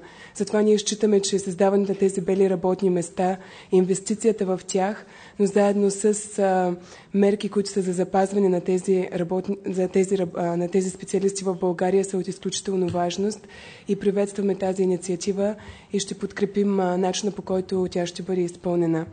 А, на второ място е целта за насърчаване на социалното включване и борбата с бедността. Тук са включени три приоритета, върху които Министерството на здравеопазването заедно с Министерството на труда и социалната политика работи вече две и половина години. И считаме, че модела, който е създаден за интегрирани здравно-социални услуги в сферата на деинституционализацията и в сферата на примахване на институционалната грижа са изключително успешни. И сега въпросът е в това да, бъдат, да осигурим устойчивостта на тези услуги от една страна в следващия програмен период, а, от друга страна да помислим по какъв начин те ще бъдат а, финансирани в бъдещето от националния бюджет, а, защото финансирането от а, европейски фондове и други източници на външно финансиране се осъществява по един доста по-лесен начин, отколкото а, настоящия модел от, а, от НЗОК, от НОЙ. Затова а, с, а, в процеса на предоставяне на тези услуги а, ние вече започнахме да мислим за начините, по които те да бъдат а, предоставени така, че да могат да бъдат а, устойчиви от националния бюджет а, за напред. А, в а, сферата на деинституционализацията знаете вече, че сме а, закри... Министерството на здравеопазването заедно с а, Държавната агенция за закрила на детето и Министерството на труда и социалната политика закри а, първия дом за деца а, за деца и в момента пилотираме модела в още 8 институции. В сферата на примахване на институционалния модел работим в региона на Враца да пилотираме един друг модел и считаме, че тези модели след като бъдат апробирани, важното ще бъде да да бъдат от една страна осигурена устойчивостта им, от друга страна да бъде разширено обхвата им И а, съм напълно съгласна и подкрепям госпожа Ангела, която предложи тези модели да бъдат приложени също и в сферата на ромите, защото а, в тази посока все още не сме пробирали модели. Благодаря ви. Благодаря ви, госпожо Димитрова. И в своето представене аз обърнах особено внимание върху връзката с бизнеса и съм щастлива от това, че това, това, тази теза получи подкрепа и от другите изказващи се. Така че сега е крайно време да чуем гласът и на работодателските организации. Ще започнем с господин Евгений Иванов. Заповядайте. Благодаря, госпожо Костатинова. Уважаеми господин президент, уважаеми госпожи и господа народни представители, господа министри, уважаеми колеги, времето напредна а, и затова ще бъда а, много кратък. Дали сме открит така обширен материал, който представя нашите виждания по темата. Видяхме голяма част отразена в материала, за което искрено благодарим. Също времено искам да акцентирам върху една тема, която аз се опасявам, че може да остане между различните съвети, тъй като не е чисто част от а, това, което обсъждаме днес. Знам, че не е била обсъждана и на съвета образование, затова ще си позволя да акцентирам малко повече върху нея. Става дума върху невидимата връзка растеж, заетост, образование и най-вече професионално образование. Става дума за така наречената дуална система, която особено в период на кризи може да даде възможност на държавата разчитайки на бизнеса, да реши почти всички тези въпроси и проблеми, които видяхме на, на, по време на презентацията. Аз лично по време на а, следването си в Австрия посетих една фабрика, в която видях на едно место, в едно предприятие, малък техникум, в който се обучаваха 20 на младежи, които сутрин минаваха по така съкратен курс на общото образование, което е задължително в Австрия, а след обед практикуваха, работиха и получаваха възнаграждение за това, което изработват. Тоест на едно место дуалната система позволява първо социално включване, защото голяма част от а, тези младежи могат, особено в България, да останат или извън системата на образованието, или да бъдат вечно безработни, защото нямат квалификация. А, дуалната система позволява и гарантира младежка заетост, защото тези млади хора получават възнаграждение за това, което изработват. Дуалната система гарантира образование, тъй като в края на периода те получават диплома за завършено средно образование. Дуалната система гарантира професия, и то търсена професия, тъй като бизнеса на практика никога няма да плати за нещо, което не иска. И гарантира след завършването на образованието работно място. Всичко това, което видяхме тук като цел, търсене, дуалната система го позволява и го гарантира. И най-важното, в края на периода чека плаща бизнеса, а не държавата. Аз искам да благодаря а, лично на министър Младенов, защото с негово съдействие и съдействие на неговия екип, КРИП заедно с Българо-германската камера вече прави два пилотни проекта в рамките на закона. Казвам в рамките на закона, тъй като закона е а, доста ограничаващ за сега в България. И по тази причина считам, че за следващия програмен период трябва да се мисли в посока отделяне на много малък ресурс, за да могат всички да разберат какво е това дуална система, добрите практики Германия, Австрия, Швейцария и да видим какво може да направим ние тук, за да насърчиме тези предприятия, които искат, но закона не им позволява да въведат дуалната система на своя територия, заплащайки почти всичко от бюджета на предприятието, т.е. бизнеса. Благодаря ви. Благодаря ви, господин Иванов. Действително, дуалната система е един от тези компоненти, които ще дадат възможност за бърз преход между образование и заетост е изключително важен елемент. А, господин Камен Колев от Българска стопанска камера. Благодаря ви, госпожо Костадинова. Уважаеми господин президент, уважаеми колеги, ние сме абсолютно съгласни, че в основата на растежа, който търсим, трябва да, да стои такъв растеж, който да генерира взетост. В момента смятаме, че това е действително основният най-остър проблем, който ще остане, за съжаление, такъв. Даже и тази година да не очакваме растеж до година или по-до година. Този растеж действително трябва да се насочи към този проблем. По отношение на доходите, ние смятаме, че това е втория проблем, по-маловажен. Първото три месече на тази година, знаете, че доходите или средната работна заплата се повишиха с 8,9%, даже да приспаднем инфлацията за този период. Това е един ръст от 7, малко над 7%. За същия период, първото три месече на тази година, производителността нарасна само с 2,6%, т.е. заплатите изпреварват като ръст производителността три пъти. Разбира се, ние оставаме последни по доходи в Европейския съюз, но все пак този темп на нарастване на заплатите спрямо производителността е показателен. Така че се връщам основно към основния проблем – безработицата и в частта на младежката безработица. Кои са пътищите за атакуване на този проблем според нас? На първо място професионалното обучение. Професионалното обучение на нас са ни необходими технически кадри, кадри за производство. В същото време университетите бълват магистри, които не работят по специалността, което е загуба и на ресурс, загуба на време. Те не е, работят на работни места, които изискват тази висока квалификация, която те имат. Показателно е това, че страни, в които професионалното образование е развито, няма младежка безработица в момента. Почертаха се Германия, Австрия, Холандия, т.е. добре е практиките от там, добрите практики, да ги проучим и да ги пренесеме тук.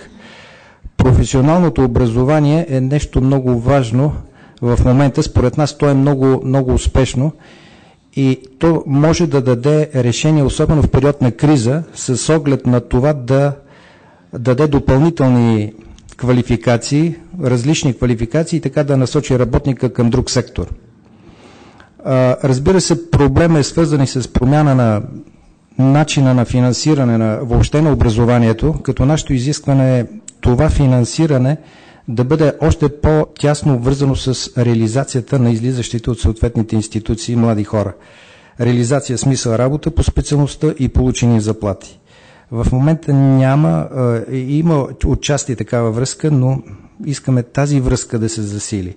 Това ще засили желанието на тези образователни институции да повишават качеството и да дават нужните на бизнеса или на, въобще на економиката кадри. Има и още един проблем. Това е ранното напускане, което също трябва да се атакува. Основен проблем. Тук имаме определени успехи, но тези хора всъщност са изключителен проблем, тъй като някой трябва да им изкара пенсиите. Те са особено сериозен проблем за пазара на труда, за социалната им интеграция, въобще за бъдещето ни като общество. И завършвам с още един проблем, който според нас е много важен. За да постигнем растеж, който да генерира заетост и по принцип първо растеж, за да постигнем, тъй като пак казвам тази година не се очертава такъв, много важно според нас е да осигуриме достъпа на малките и средни предприятия до обществени поръчки. Не само до бюджетните и е, обществени средства, но и до евросредствата. Смятаме, че този достъп е нарушен, смисъл такъв, че се въвеждат прекалено тежки изисквания към участниците в такива търгове, да ги наречеме, които са по същество дискриминационни по отношение на малките участници, които в същото време могат да изпълнят съответната работа. Това е загуба на работа, загуба на работни места. Ние не държиме, т.е. ние сме против това държавата да разпределя повече средства по линия, включително и на обществени поръчки, тъй като е ясно, че ефективността на публичните разходи при нас е изключително ниска има данни, които показват, че ние два пъти изоставаме по ефективност на публичните разходи от водещите в това отношение. Но тези средства, които все пак се разпределят, да се разпределят по начин, по който да се осигури възможност за равноправен достъп до тях на малки и средния бизнес, това са местните фирми. Само една забележка ще направя, една вметка. В предприсъединителния период ние не успяхме да изпълним тази цел – тъй като в предприсъединителния период страни като Унгария, Естония и други по време на техния предприсъединителен период успяха 90% от средствата да изпълнат съответните работи с местни фирми. При нас този процент беше около 20-22%. Специално говоря в областта на строителството, т.е. на техния предприсъединителен инструмент ИСПА и при нашия. И а, второто нещо, което според нас може да генерира тази заетост, а, без да увеличаваме средствата, които държавата харчи за публични разходи, е чрез публично-частното партньорство, което, ползите от което мисля, че са безспорни. Благодаря за вниманието. Благодаря ви, господин Колев. Заповядайте. Благодаря, госпожо Костина. Позволете ми едно изречение, тъй като е изключително важно е, е развитието на професионалното обучение. Господин президент, в момента в парламента се гледа закона за училището образование. В този законопроект е написано, че професионалните училища вече минават към общините, а, национа... а спортните училища стават държавни. Просто като да ви иллюстрирам кое е, кое е приоритетно. Благодаря ви, господин Стойнев, но нека да се концентрираме върху дебата, за който сме се събрали днес. Господин Велев, заповядайте.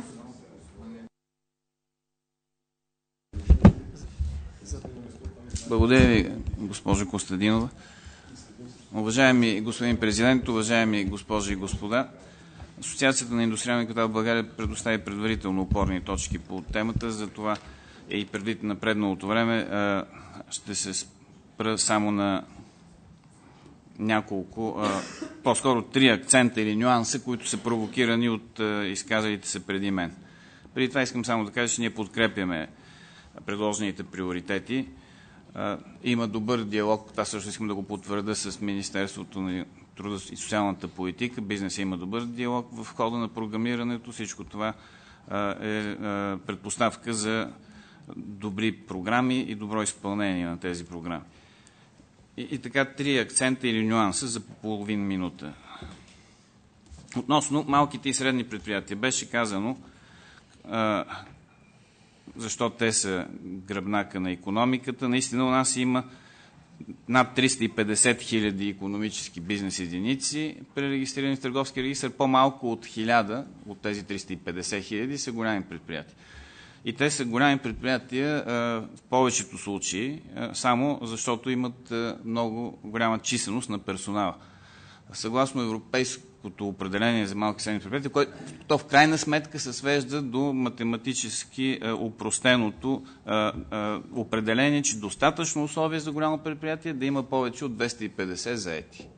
Това е достатъчното условие за голямо предприятие. Няма значение какви са продажбите, няма значение какви са активите една такава, едно такова определение нас ни обрича на а, ниска производителност, защото в страни като нашата не е тайна, че производителността е 4 повече пъти по-ниска от средноевропейската. И тезата, която а, искам да изложа, за която ние събираме подкрепа и на национално и на европейско равнище, че за страни като нашата или най-малкото за целите на програмите, а, голями предприятия трябва да бъдат такива, които продават повече от 50 милиона и евра или имат активи повече от тази сума. А, без значение каква е числеността на персонала. Защото а, по продажби нашите големи предприятия, три четвърти от тях са средни, а някои от тях и малки. И там наистина са голяма част от заетите и ако ние финансово подкрепяме европейското определение за малки и средни, ще изпуснем една много голяма маса, които са и а, проектоспособни, да ги наречем, за освояване на тези средства и където се трудат голяма част от заетите в страната ни. Втория нюанс. Прогнозиране потребностите на економиката. Абсолютно сме съгласни, че това не може от, работни, от работна сила. Абсолютно сме съгласни, че това не може да стане без бизнеса, но а, поради изложената преди малко причина, това не може да стане и само от бизнеса, защото бизнеса у нас е раздробен, малък и среден. Той не може да прогнозира за 5 и 10 години напред, не може да се организира достатъчно, за да направи изчерпателно проучване и да даде предписание.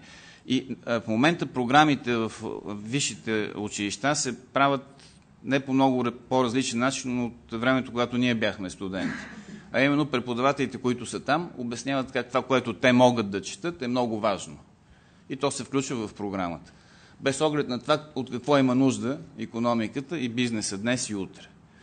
И затова тук трябва да обединим усилията си, тези, които професионално се занимават с това, бизнеса, социологията и статистиката, за, за да може да се направи изпреварващо модела и да се прогнозира. И малко повече наистина връзка с економиката, с реализацията на, на, на тези кадри. Третия, третата тема с, е свързана с инвестициите в човешки ресурси в високопроизводителни, високотехнологични, иновативни предприятия. Абсолютно важно е това. Това е приоритета. Но в същото време бих се противопоставил на тезата за загърбване и забравяне за това, което всъщност ни храни днес и в обозримо бъдеще и буквално и преносно. Това е селското стопанство, това е туризма, строителство, ако щете и металообработване. И тук свързвам и проблема с ромското население. Защото тук е и младежката безработица, тук е и ранното отпадане от училище. Там, където има компактни маси в тези общини от ромско население – там процента на ранно отпадналите от училище и процента на младите безработни е драстично по-голям от средния за страната. Тоест решаването на тези два проблема минава през решаване на проблемите с ромското включване. Ние не знаем как да се реши, за разлика от някои изказали се тук, но знаем, че такъв огромен проблем съществува и, и той е хоризонтален, той, той пронизва всички тези приоритети, които са написани тук. И, и тези хора до 2020 година няма да могат масово да се включат в високотехнологични производства, в иновативни производства. Но те ще могат да работят в селското стопанство, в строителството, в туризма, ако щете. И, затова трябва а, да се мисли, а, като а, акцентираме върху високата добавена стоеност и върху тези а, отрасли, които нямат така висока добавена стоеност, но предоставят възможност за ромско включване. И завършвам с продължаващото укрепване на институционалния капацитет. Безспорно, много важна тема. Съвместните действия на социалните партньори мисля, че дадоха добър резултат в, и дават в този програмен период. И в това отношение публично-частното партньорство, аутсорсването на дейности и услуги на целия граждански сектор е нещо, което трябва да се насърчава. Втора теза в този раздел. Коефициента на полезно действие при нас в нашата страна, а и в целия Европейски съюз, за съжаление е много нисък, тъй като времето за програмиране и отчитане е равно на времето за същинска работа. И ако това на ниво Министерство е обяснимо и оправдано, на ниво конкретен изпълнител е, води до един много нисък коефициент на полезно действие, нещо, което Европейската комисия го вижда. Предполагаме, че ще има усилия за повишаване на този коефициент на полезно действие.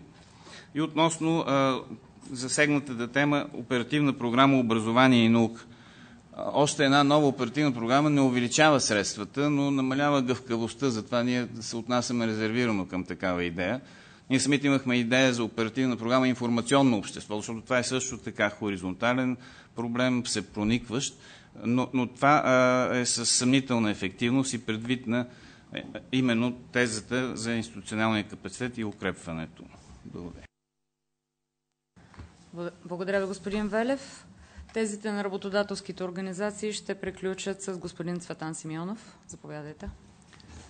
Благодаря, госпожо Костадинова. Уважаеми господин президент, господин министр, дами и господа депутати, уважаеми участници.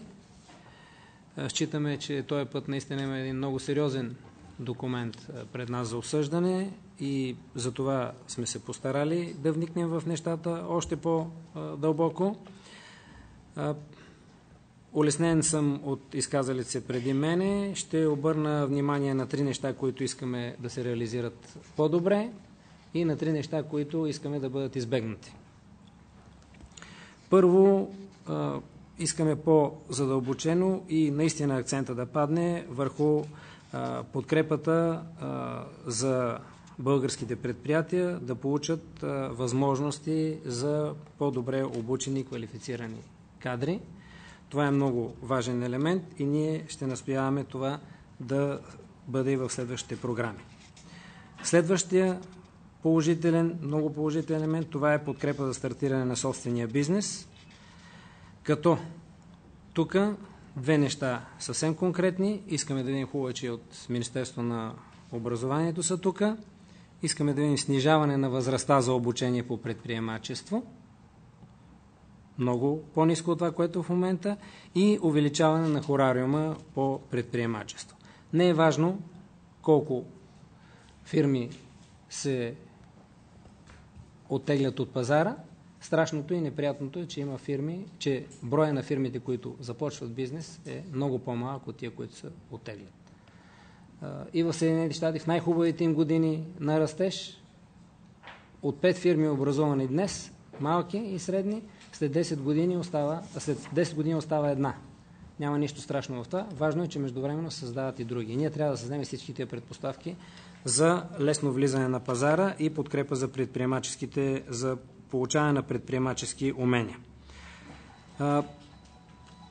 Изказвали сме се и няма да повтарям нещата за интеграцията на най-уязвимата част пазар на труда и фокуса върху младежката безработица. Какво обаче е важно? Ние бихме желали да видим а, израв... първо изравняване на изравняване няма да стане, но намаляване на пропаста между елитните училища, обучението в елитните училища и обучението в а, другите. Идват ми хора и при други работодатели с завършено средно образование, с добри и много добри дипломи, пет години учили езици, не могат една дума да обеват. Значи такива учители, които произвеждат такива кадри, аз не бих им дал и половината от заплатата. А, причините а, са много. А, има хора, които отговарят за това. секунда, нека да не се апострофираме. Да.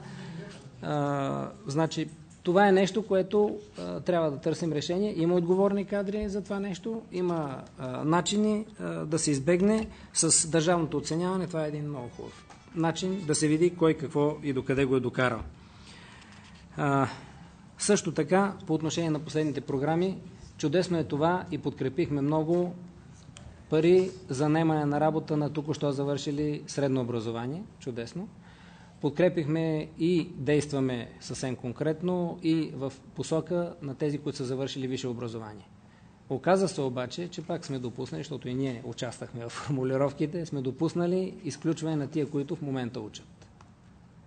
Имаме случаи, в които добри кадри в момента са в втори или трети курс, или трябва да спрат образованието, за да ползват, да работят при нас или някъде другаде, или аз трябва да дам а, декларация, че не учат или те да дадат лъжлива декларация. Нещата, които не бихме желали а, и които бихме желали да се махнат от... А, първо, а, не бихме желали в тези приоритети, които формулираме, да се създават условия за неравнопоставеност на предприятията. Ще взема една формулировка. Инвестиции, което всички тук много бързо подкрепиха. Инвестиции в човешки ресурси в високопроизводителни, високотехнологични, иновативни предприятия. Това чудесно. Другите какво правят? Значи, нека акцента да се постави върху проектите и про- програмите, които се представят, да бъдат високо с ефект за висока иновативност. Защо, ако някое предприятие в момента зле работещо представя една хубава програма за иновации в това предприятие, с, свързани с добро обучение, всичко и ние ще му кажем, ти не си високо иновативно. Отивам по-нататък. Кой ще преценява кое е иновативно, високо иновативно и кое не е?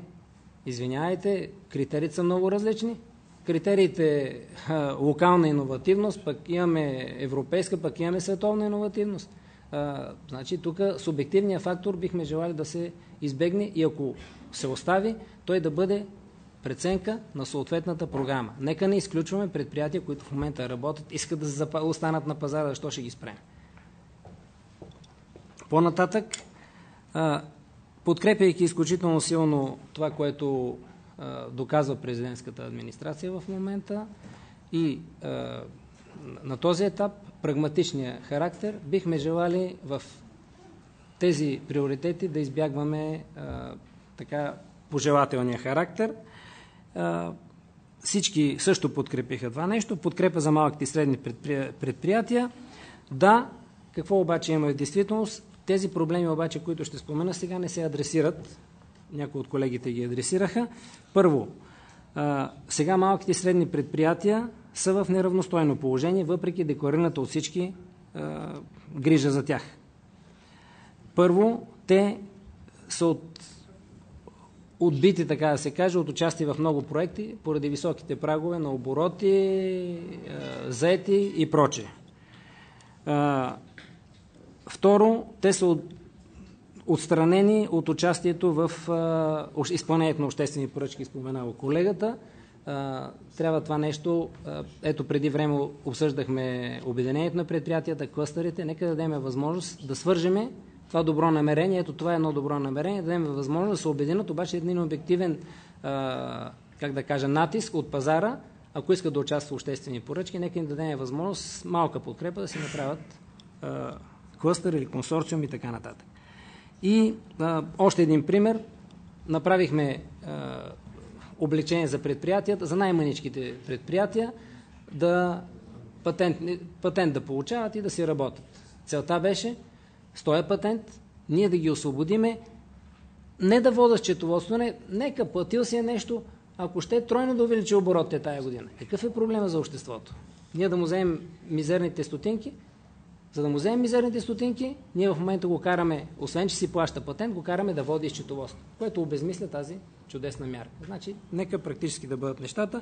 И накрая, а, също бихме желали да бъдат избегнати случаите, в които администрацията, а, насочването на европейски пари, по-просто ще го кажа, това се спомена в някои от преждеговорище, в сфери, в които бюджета има грижата за това нещо, т.е. да не харчиме два пъти за едно и също.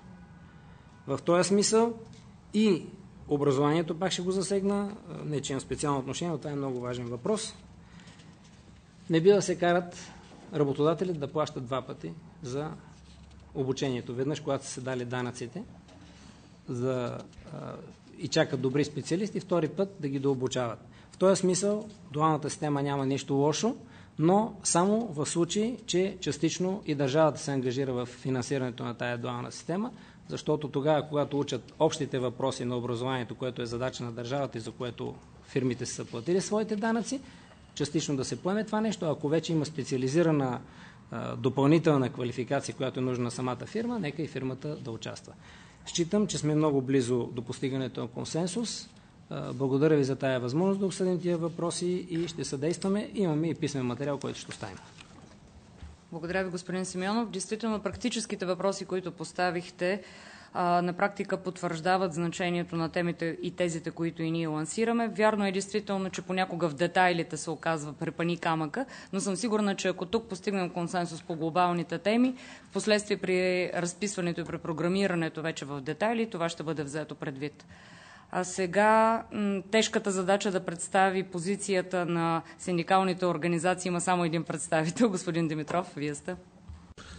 Благодаря, уважаеми господин президент, уважаеми дами и господа министри, замминистри, народни представители, уважаеми колеги. Аз ще започна там, къде започна президента. мисля си, че всички знаем всъщност, че няма как да искаме с социални мерки да генерираме заетост. Очевидно е, че економиката е тази, която генерира заетост на първичния пазар на, на труда. И от тази гледна точка за нас винаги е бил фундаментален въпроса за економическата политика, за макроекономическата политика, в това число индустриалната политика и секторната политика. Оттам неминуемо, ако добре е центрирано и се направи съответния полиси микс в, в тези политики, ние можем да произведем растеж, който дава заетост. И тук искам да припомня на всички, че не е задължително да има пряка връзка между заетост и растеж. Както и няма. Няма такава автоматична, и доказва, за съжаление, съвременния свят, зависимост, че колкото растежа се появява, особено ако е малък, ако, особено ако е под 2%, той ще генерира заетост. Просто обратното. Не генерира заетост и това е един от основните проблеми, с които се сблъска съвременния свят в момента. Дори тези, които имат растеж. Не говоря за нашия, който е около нулата. Говоря за един по-приличен. Така че е, осигуряването на макроекономически политики економически секторни и индустриални, които наистина водят до растеж на економиката, водят след себе си качествена заетост, за нас е основният приоритет на държавата. И всички други трябва да бъдат съпочинени. Независимо, че говорим в момента за приобщаващия растеж от гледна точка на политиките на пазара на труда, в това число изключването, естествено и бедността, ние смятаме, че трябва да почнем от там. И тук, съжалявам, но ние имаме малко по-различно виждане от това, което се говори тук в момента. Или пък се залага дори като една, как да кажа, безалтернативна политика на държавата. И виждаме, че в света има части от света, които предлагат други политики. Например, Латинска Америка. Например, Бразилия. Тази едва ли не стигма и е така насложена, че видите ли, няма как да говорим за растеж и за инвестиции, защото дълга е станал прекалено голям. За нас не е изчерпан въпрос. Той трябва да бъде поставен, ама смислено. В новия контекст, който се поставя в момента. И то се поставя от Нобелови лауреати по економика. В Съединените щати, в Франция, в Германия, Скандинавията, в Азия. И резултатите са различни от това, което ние си мислим, че е предопределено това, че, видите ли, няма как да генерираме повече дълг. И дали трябва да генерираме повече дълг. Това, което се казва, че планините от дългове били едва ли не, а, как да кажа, а, виновни някой друг, а не финансовия сектор, също пропускаме виновника. Така не правителствата генерираха дълга, а банките го генерираха. Правителствата просто платиха сметките на банките. И частният дълг стана публичен. Така че е, дискусията според мен е много по-широка и не би трябвало така лесно да я упростяваме и да казваме, видите ли, понеже вече имаме планина от дълг, нищо повече не може да се направи, освен да лазим по дъното и в нашия ел да очакваме да видим как ще излезем по-нататък. Напротив, все повече доказателства има, че трябва да има и стимули.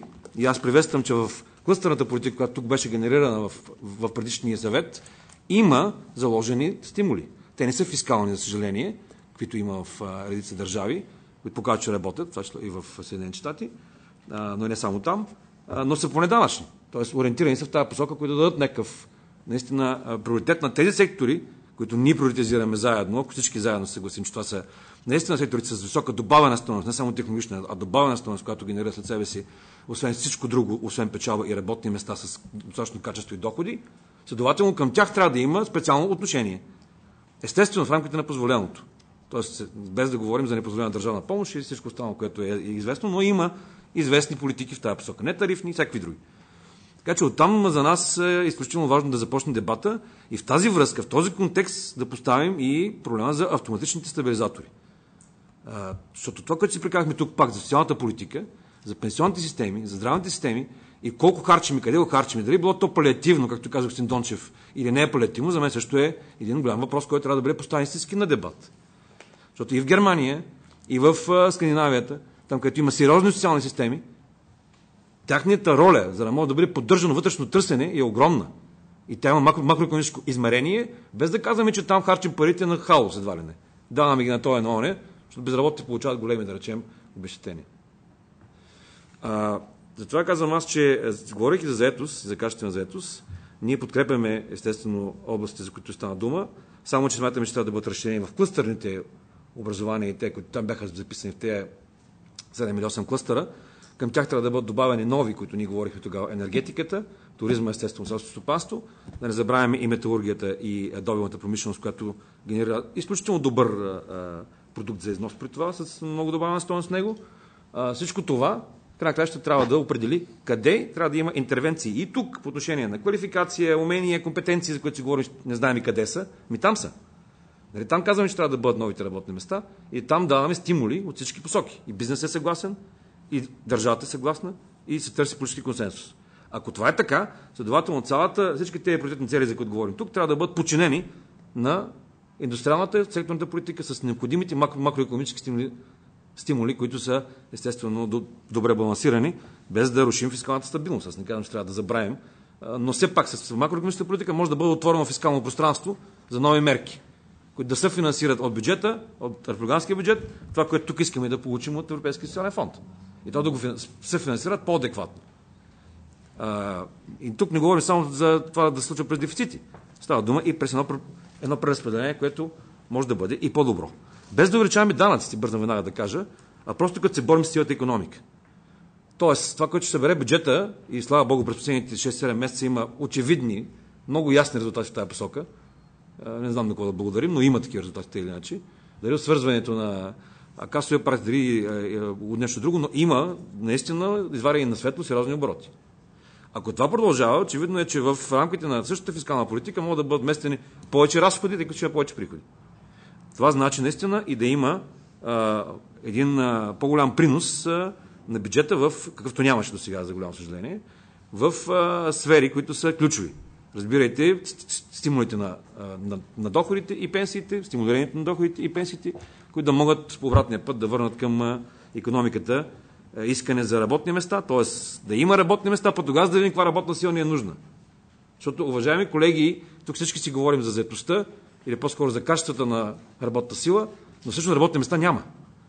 Тези работни места, които сега в момента се предлагат на правителствения пазар, на, на това са силно неатрактивни. Или с ниска квалификация, или с ужасно заплащане. Да не кажа, че то е смешно заплащане, което се предлага. С други думи, няма работни места. Ако трябва да сме истински, това, което приказваме тук е високо технологични, високо, високо, високо, високо. Високо, но на пазара е ниско.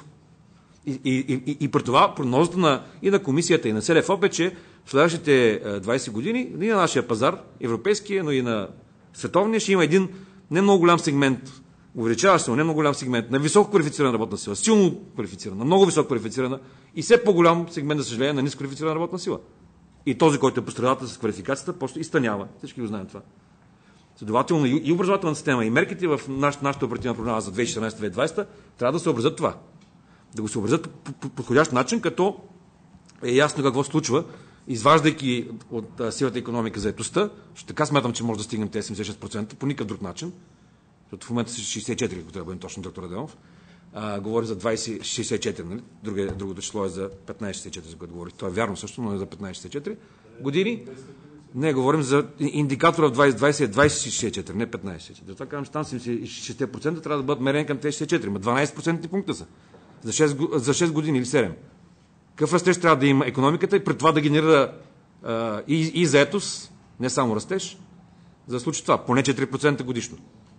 Тогава сметките. Минимум 4%. От 2014 на, насетне.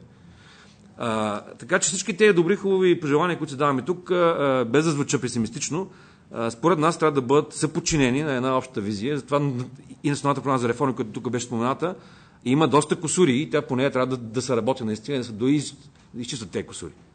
В това число и а, някои конкретни косури, които а, ние може би трябва да коментираме а, в един по-широк формат.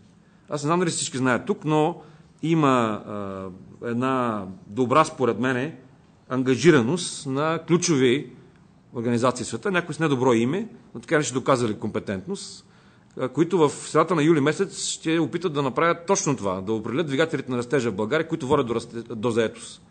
Става дума за Международния валутен фонд, за Столната банка, за МОД, забележете, за първи път, заедно, и най-вероятно и, и, и комисията.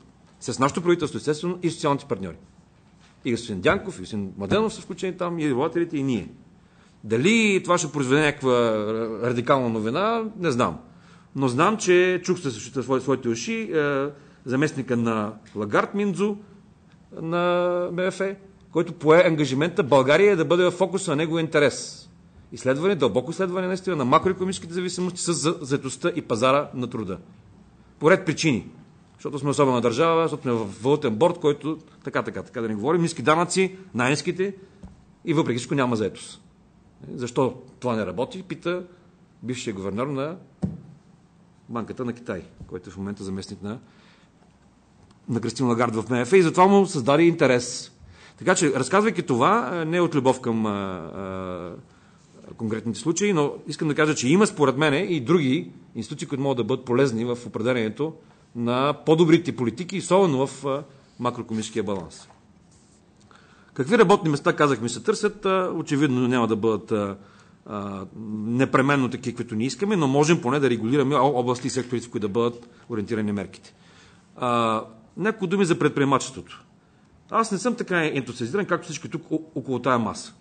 Световните изследвания показват устойчиво, че не повече от 10% от населението, на което да било държава, с малки флуктуации, обикновено има бизнес, бизнес нагласа. Да рискува, да прави бизнес, да пред... Останалите 90% искат да бъдат наемани. Това е нагласите.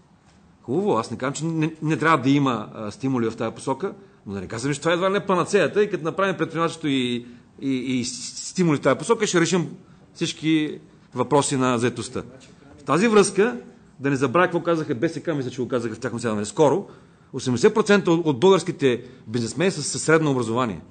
Особено в малките и микро и средни предприятия. Така че ако трябва да има нещо, някаква мярка към квалификация на работната сила, тя трябва непременно да бъде обърната и към квалификация на бизнесмените и на менеджмент. Защото иначе няма как да имаме иновации с хора, които средно образование управляват бизнес. Нали, съжалявам, ама някакси не мога да си го представя. А, от тук нататък има и още други неща. А, последните данни, аз се върнах вчера от МОД, с министър Мадема бяхме заедно, се прие една сериозна резолюция за младежката заетост. В нея имаше един много, много важен коментар, който искам тук да, да, да, да внимание. 40% от завършилите в Оксфорд през последните две години в момента са сервитьори или някъде с ниска, ниска квалификация. Тоест няма работни места, уважаеми приятели, не е панацея само висшето образование. Не казвам, че трябва да спрем. Но трябва да се мисли и нещо друго в тази посока, а не единствено в, в тези схеми, които са мислили и, и до момента. Младежите в тази връзка за нас са изключително важни. Затова ние искаме да обърнем внимание на, на приоритет 2, инвестиционен приоритет 2 в това, което ни е предложил президента, и там да разширим малко повече, да се каже, за, за прехода от заетост към обучение. Тук 100% подкрепяме дуалната система. Между другото, тя беше цитирана и продължава да бъде цитирана като един от най-успешните модели в света. И тук не е само Германия, Австрия и Швейцария, и Дания, и някои други страни, които наистина имат устойчива заето, забележете, малка безработица и да не кажа нещо, което забравяме да, да споменем. Устойчив модел на социално партньорство и колективно трудово договаряне. Така е. Не е в англосаксонския свят устойчивостта. Оказва се, че е в Средна Европа май. Централна Европа имам предвид. И сигурно и това има значение, понеже то, то е производно, за което говориха моите колеги работателите, производно от диалог между бизнеса, труда и държавата. А, това, което а, искам да подкрепя в приоритет 4 непременно а, в тематична цел 1 е акцента, или по-скоро да го добавим, акцента върху анализа на компетенциите и въвеждане на модели за оценка на компетенциите на ниво предприятие. Нещо, което Стопанска камера започна, пак ще цитирам нея, но наистина това е добре, да произвежда в своя проект, който работи по в момента, с секторните комитети по, по компетенции и за да задава там наистина бизнеса с нас заедно, с работници, се задава и ясни ключови умения и компетенции, които са необходими към дадените професии в, една, в един такъв диалог. Това е изключително важно и затова трябва да бъде така стимулирано. В приоритет 6, освен всичко това, което там е формулирано, за нас е важно най-накрая да има финансова в това число, но и логистична подкрепа за създаването на механизмите за ученето през целия живот. Ние 22 години май само си приказваме, или малко правим, май да не абсолютизирам. Но устойчивите механизми пак са известни. Те минават през установени такива между бизнеса и между труда. Обикновено на, на секторно ниво, един, един път, секторни фондове за квалификация и преквалификация през целия живот, и това се подкрепя във всички и тези същи държави, за които говорихме преди малко, са устойчиви, или пък другите механизми, за които също много настояваме отдавна, някои от тях вече въведохме ваучерите, някои от тях все още не сме, като индивидуални сметки за обучение. Моите любими сметки. Та, те водят със себе си възможност човека да бъде гъвкав наистина, да трупа на гърба си парички, когато иска да се квалифицира и преквалифицира. И тази гъвкавост наистина трябва да бъде отчетена за ученето през целия живота, ма наистина. Освен всичко друго, освен да ги учим на предприемачеството младите хора, трябва да ги учим и на права. Слава Богу, ние с Министерството на образованието направихме една много сериозна кампания през тази година, учебна за всички випускници. Смятам, че трябва да продължим. Младите хора, като излязат на пазара трябва да се знаят осигурителните права и своите трудови права. За да не могат лесно да стават плячка на някои недобросъвестни работодатели, които ги вкарват веднага не в силата економика, но в черната економика. Което вреди естествено и на заедостта, и на показателите на, на пазара като цяло, но и на социалните системи. Всички, всички ни е известно. И накрая, това, което мисля, че трябва да бъде казано, непременно в тематична цел 3 за нас трябва да бъдат а, засилени, в, а, може би в инвестиционен приоритет 9. А, тук не говорим само за достъп до здравни и социални услуги. Аз си представям за социално слабите, както беше коментирано, или поне такова впечатление остава. Тук става дума за качествен достъп до всички, които имат съответните права, т.е. имали съответен принос, що касае социалното осигуряване, или пък своите права по закон, що касае здравното осигуряване. А, за нас не можем... Очевидно това е ясен генератор на вторична бедност. 100% вече няма, няма, няма съмнение по това. В това число и системата за социално подпомагане, а, крайно време е, това гарантира минимален доход, да вземем да го направим нещо. Защото просто е смешно 20 години да си говорим и на същото нещо, наистина 20 години си говорим. Имаме проект на бедност, само че той за нищо не служи. Тоест той няма никаква връзка с това как бедните край на край краща се подпомагат спрямо това проект на бедност, който държавата изчислява по методи, която сме съгласували и никакво отношение към тези, които трябва да получат нещо там. Пак фискалните съображения са на първо място, но за това сме с 46% хора в риск от бедност или бедни. Поради тези фактори, които са очевидни. Ако не бъдат адресирани истински, не знам, сигурно пак ще продължим по някакъв начин да функционира държавата и обществото, но в никакъв случай няма да изпълним всичко това, което искаме. Най-вече да изпълним тези цели. 76%, 36% висше, висше образование, 11% отпадащи нашото 11 като 10% е целта в Европа 2020, нашата е малко по-височка. 11 при положение сме на 12,6, сигурно може да бъдем малко по-амбициозни и тук. И не, не, не накрая, не на последно место е 260 хиляди, дето трябва да, да, да ги съкратим от бедност, при положение, че 3 милиона и половина са в бедност. Не знам дали това е добра цел, добре положена, според мен не. А, при положение, че 3, 3 милиона и половина са в риск от бедност, нашата цел е 260 хиляди. При 20 милиона заявени на ниво Европейски съюз, сигурно трябва да помислим нещо в тази посока. И тук данъчната и доходната политика очевидно имат решаващо значение. Защото, завършвам с тази думичка, тя в момента генерира ежедневно неравенство. Данъчната политика. Плоския данък, за да бъда много по-точен и по-ясен. Плоския данък генерира ежедневно задълбочаване на неравенствата. Не знам дали му харесва някой или не, но това е истината. Анализите го показват и доказват категорично. Поред и, и, и начини за измерване. Коефициент на Джини, каквото искате. Също всичко е категорично доказано. То не е моя емоционална реч в момента. Ако искаме сериозно да се справим с проблема, трябва просто да видим къде са, къде са решенията. Те са наистина, повечето от тях са в макроекономическата, данъчната, економическата и индустриални политики. Благодаря. Надявам се, господин президент, да, да сме били полезни. Всичко това, което казах, ще го получите в писмен. Благодаря ви, господин Димитров. Макроекономическия контекст, който поставихте на дебата днес, определено потвърждава правилността на начина, по който ние структурирахме съветите, за да стигнем до този съвет. Определено има много какво да се каже по темата, но ще помоля тези, които остават с изказванията си да говорят, да се концентрират върху темите, които разглеждаме днес. Сега ще чуем едно малко по-различно, една малко по-различна гледна точка. Доцент Антуанета Христова ще ни представи позицията на Българската академия на науките.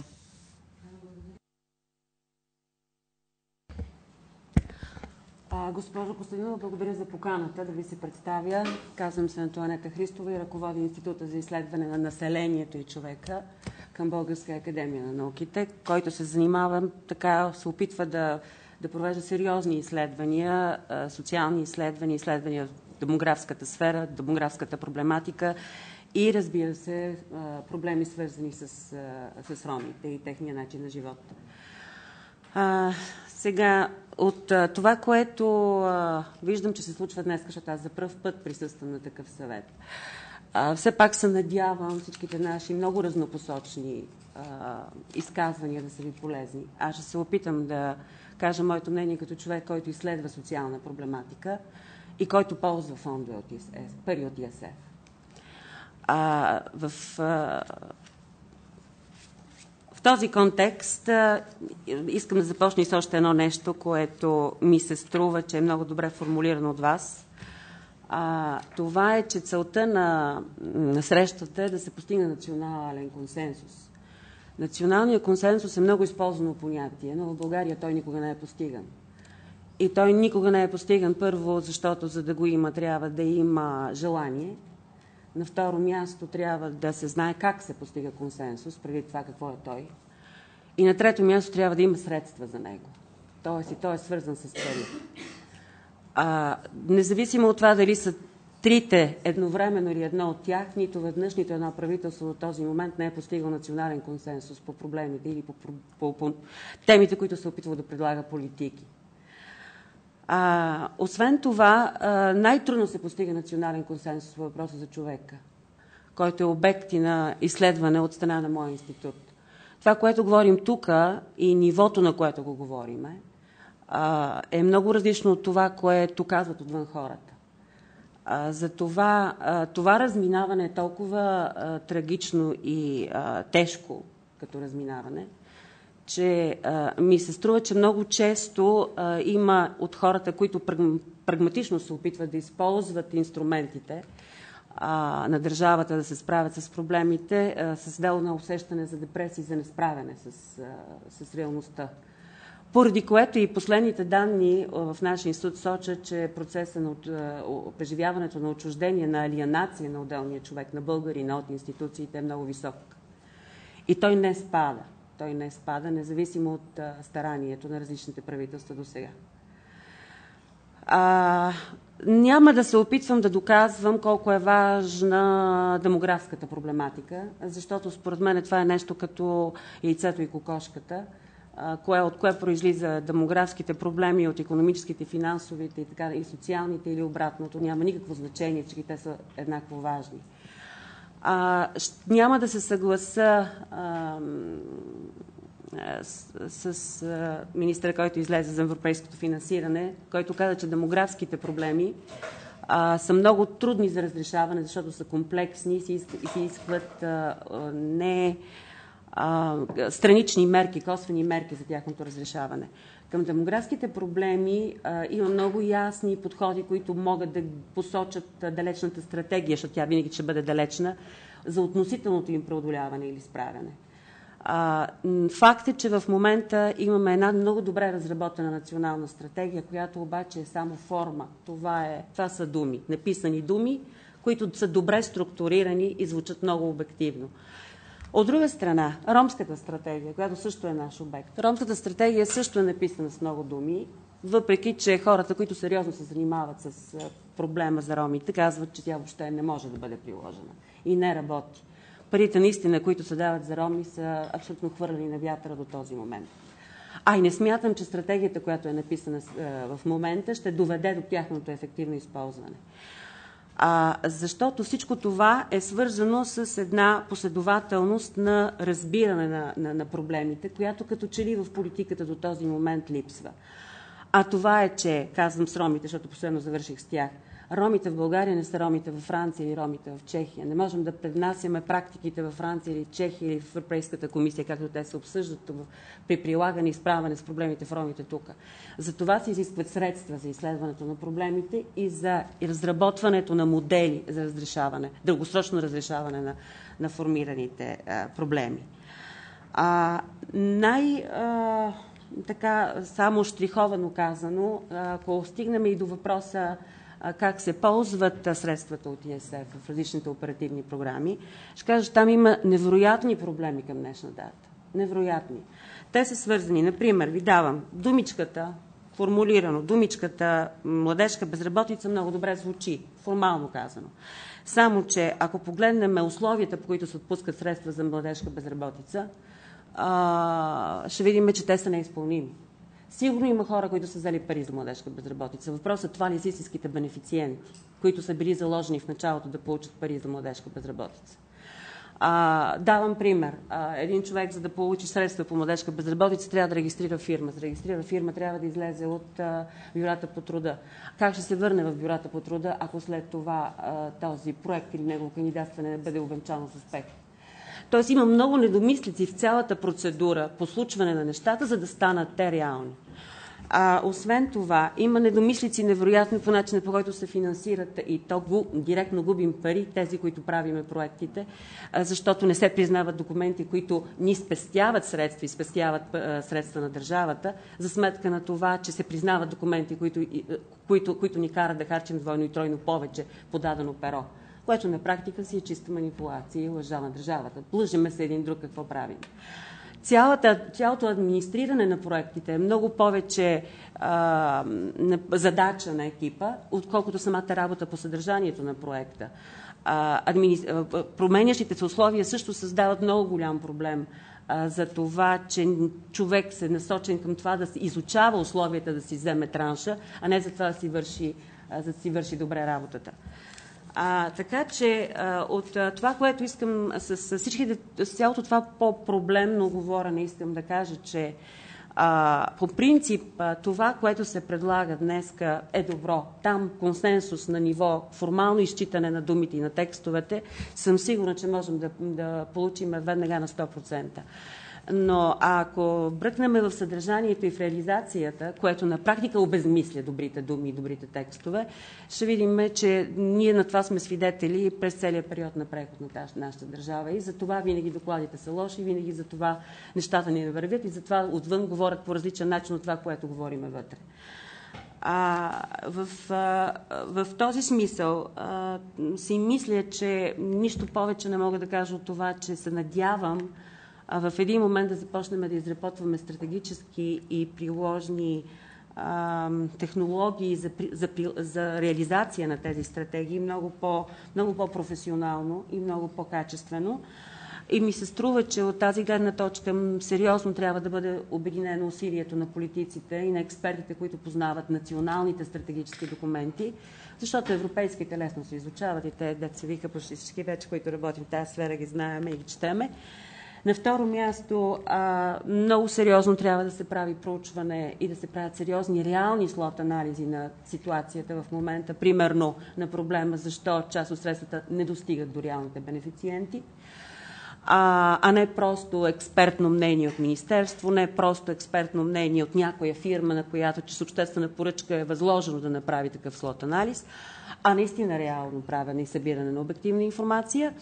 И накрая, не на последно място, трябва наистина да се включват а, учени, защото а, някакси текстовете винаги ги подреждаме малко хаотично разхвърляно, докато особено в социалната сфера, хората, които се занимават с изследвания в социалната сфера, определено а, могат да подрежат нещата така, щото да виждат повече а, източника на проблема и да да, да, да подкрепят усилието в подреждане на приоритетите на стратегиите и тактиките по отношение на постигане на резултата за премахване на източника на проблема, а не просто на повърхностните повърхностното четене на, на, на реалността, така както е било поне до този момент. Надявам се това да се случи сега. Благодаря ви, доцент Христова. Всички ние, които се занимаваме с стратегическо планиране, сме наясно, че първо трябва да постигнем консенсус относно това, кои са стратегическите цели и след това вече да навлезем в детайлите на планирането. Именно за това сме се събрали днес тук, да видим имаме ли този консенсус или не.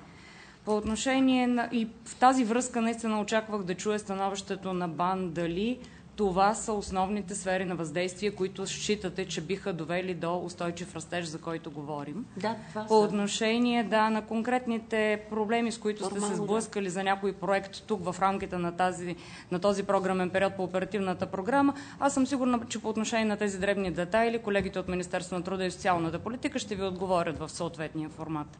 Министър Младенов, искахте да вземете отношение. Само едно нещо. Аз благодаря на колежката за задълбочената информация. Явно сте се постарали да вникнете в тези проблеми. Само една бележка имам. За да бъдете още по-полезна на обществото от тук нататък с вашите анализи, се запознавайте подробно с отделните мерки, защото това, което цитирахте, не касае младежката заетост, а касае предприемчивите българи. Това са съвсем две различни програми, две съвсем различни мерки. Естествено е, че тези хора за предприемчивите българи трябва да имат фирма, защото това е целта на тази програма, за да развиват предприемачески дух, а не да си купуват хладилници, телевизори или нещо друго. Благодаря. Благодаря. А сега да преминем към представителя на хората с увреждания, госпожа Елка Тодорове. Заповядайте. Благодаря ви. От името на Националния съвет за интеграция на хората с увреждания и организациите, които членуват в Националния съвет, подкрепяме проекта за залагане на ключови приоритети, направления в основата на програмирането за 2014-2020 година по линия на Европейския социален фонд, което е изготвено от администрацията на президента на Република България, като искаме да направим едни предложения и аз ще акцентирам тук именно върху тази уязвима група хората с увреждания, които са национален приоритет, който изисква и постоянното политическо, обществено внимание, както и максимална степен на координация на политиките, на социалните партньори, които работят по отношение на тези политики, както и този национален приоритет е залегнал и в Конституцията на Република България, че хората с увреждания са една от групите, които приоритетно се подкрепят от държавата.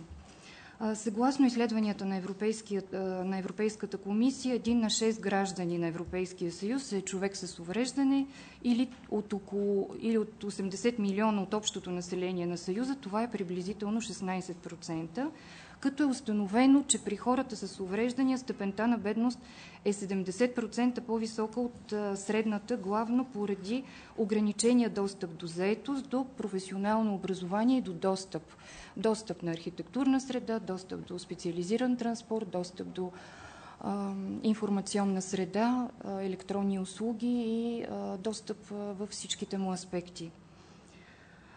Като цяло така сме щастливи от факта, че благодарение на политиката на правителството и на законодателната власт на 26 януари беше ратифицирана Конвенцията на ООН за правата на хората с увреждания, което е, която е един комплексен инструмент от политики по отношение на хората с увреждания.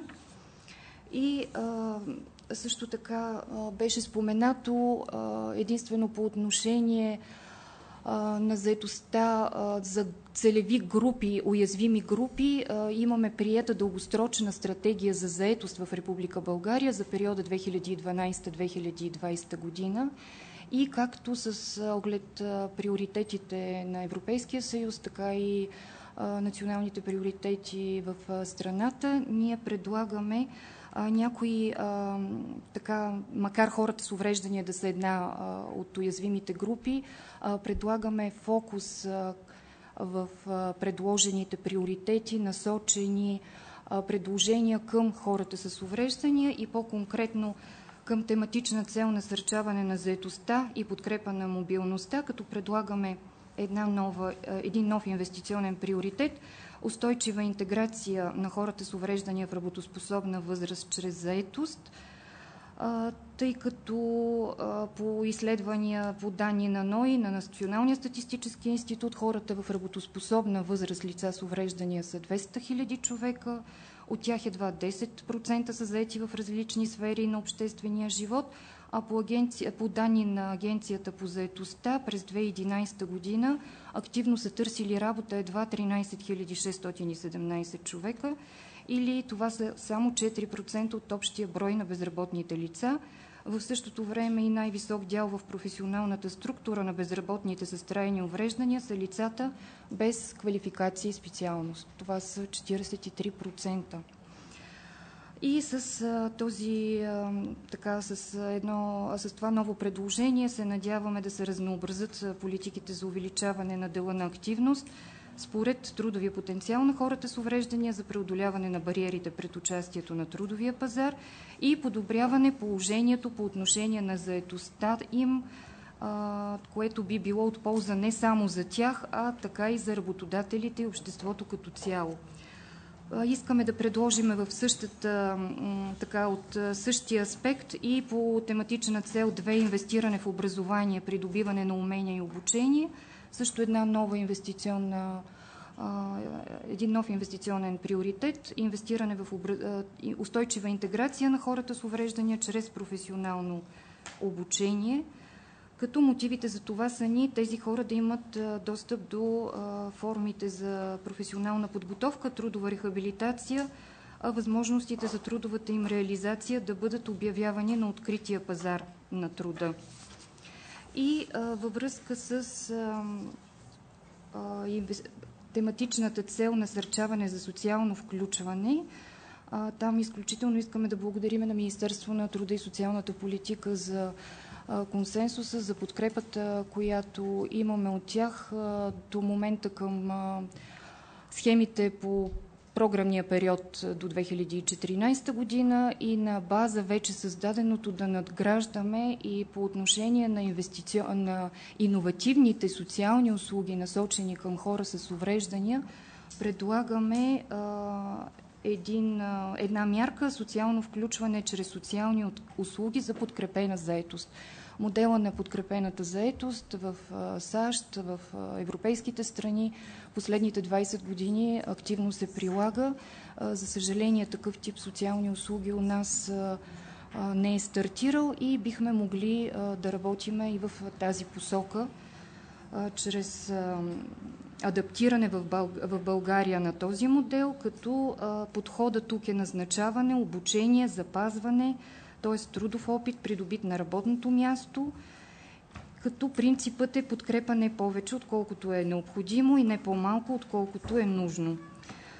Това са нашите предложения. Да ви благодарим още веднъж за това, че ни поканихте на днешния диалог и също така бихме работили в другите, социални, другите съвети, които работят по отношение на други теми, свързани с приоритетните направления по отношение на ползване източниците за следващия програмен период от Европейския социален фонд, а също така тук беше споменато и Европейския фонд за регионално развитие. Там също имаме предложения, които бихме могли да внесеме по отношение на архитектурната среда, достъпа, информационната среда, и всички а, други а, междусекторни политики, свързани с хората с увреждания. Благодаря ви. Благодаря, госпожо Тодорова. А сега, след като чухме различни позиции по отношение на ромската интеграция, ще имаме възможност да чуем господин Румян Сечков, като представител на неправителствена организация, реализираща проекти в тази сфера. Заповядайте. Благодаря. Ще бъда максимално кратък, защото наистина стана доста късно. Аз ще си дам бележките директно по-късно. Тук само няколко вметки. Говорим за интеграция на ромите и го обобщаваме ромите, ромите, ромите. Ромите не са еднакви. Това трябва да го знаем.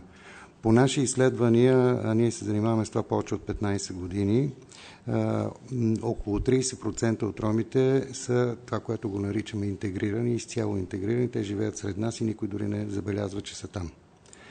Проблема е основно в ромските, обословените ромски квартали. Там е, там е големия проблем и то не, не изцяло с всички, а с една мал, много по-малка част от ромската общност, така наречените анклави гето в гетото, където всъщност е структурната бедност и най-маргинализираната част от, от това население.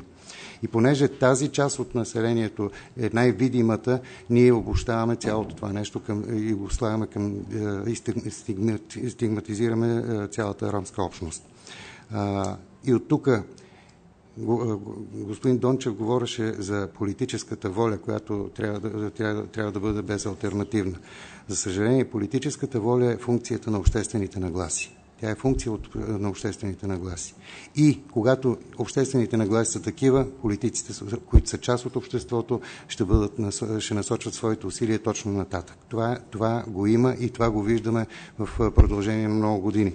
Повече от 30 документа са приети за интегриране на ромите през последните 15 години. Ефекта от тях не е, не е особено забележим.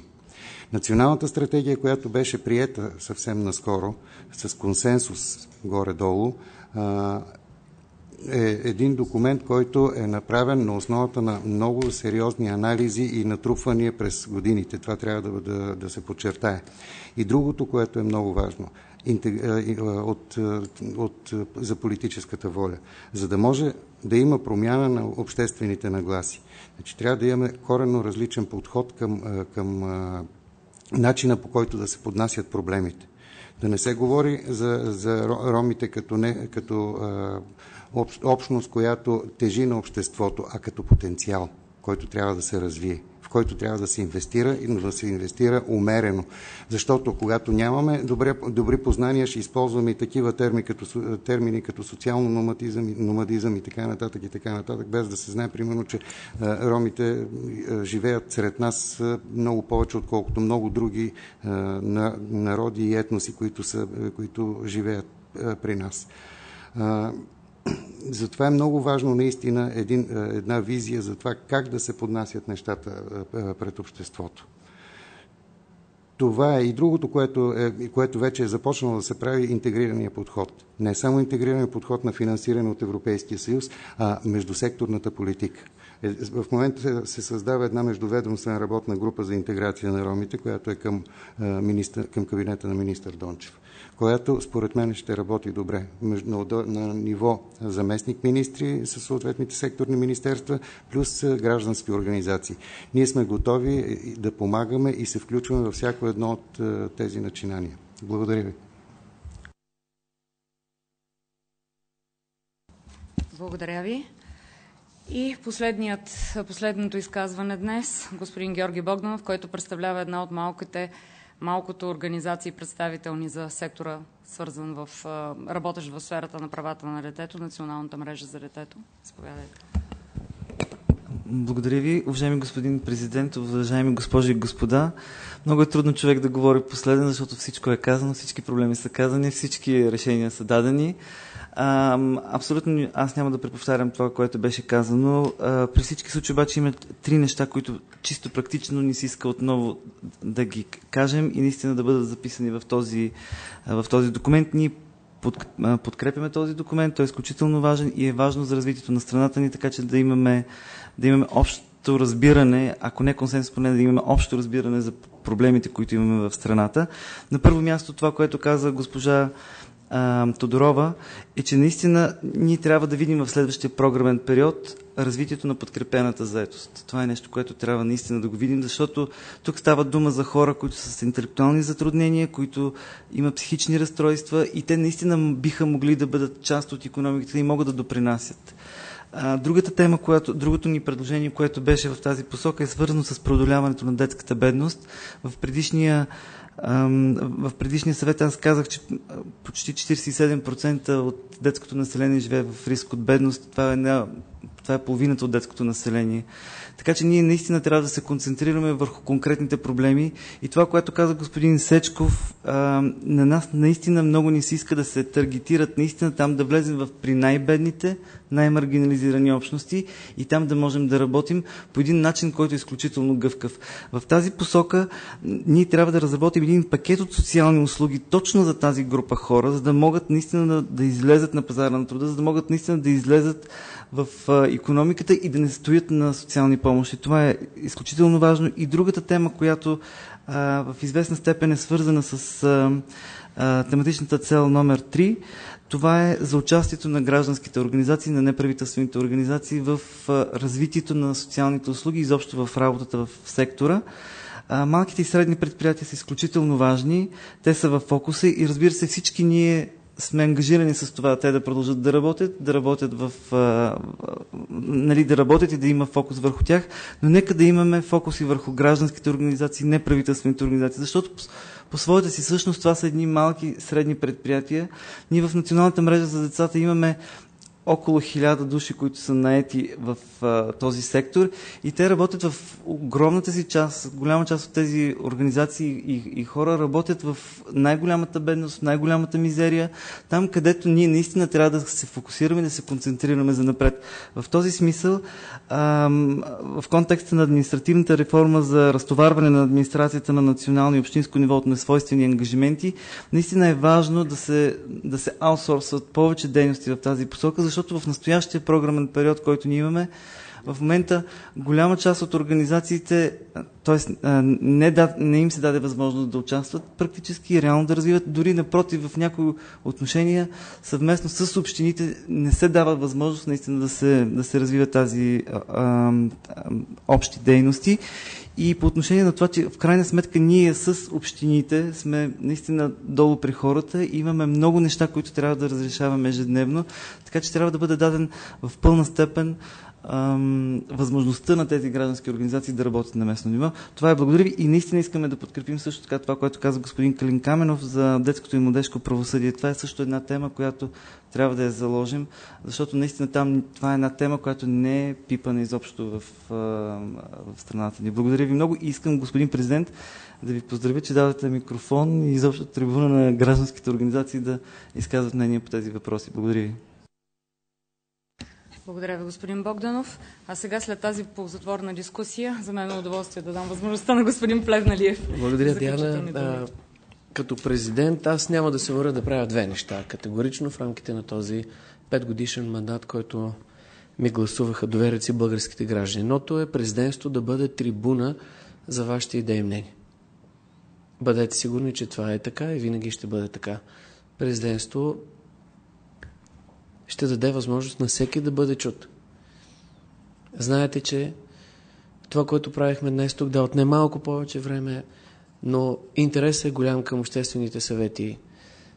Времето, което ви отделихте днес тук, не е просто само по една тема от национална важност, но и бъдете сигурни, че от, от Вашингтон през Париж, през Берлин до много хора и от най-малките грачета в България гледат тези дебати и съответно формират своите мнения как България, българската държавност, партийните лидери, различните институции нали, адресират тази толкова важна тема с Националната програма за развитие.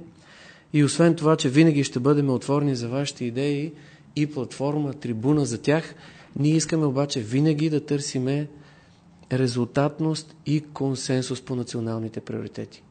И това упражнение ще се случва постоянно тук. Благодаря ви за това, че отделяте толкова много време, за това, че толкова сте откровенни, честни, прагматични. Очевидно сме на прав път. Очевидно, ако сравняваме начина по който България в годините адресира своите дългосрочни национални стратегии, а, има прогрес.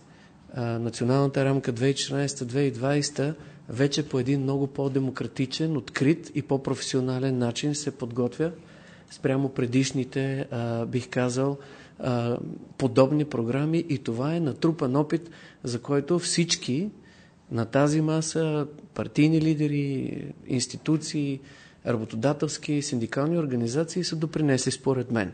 България днес в дебата си по Националната програма за развитие 2020 по един много по-прозрачен, професионален и добър начин адресира бъдещите си национални приоритети, проектите, механизмите, които отговарят на тях, за да постигнем резултатност.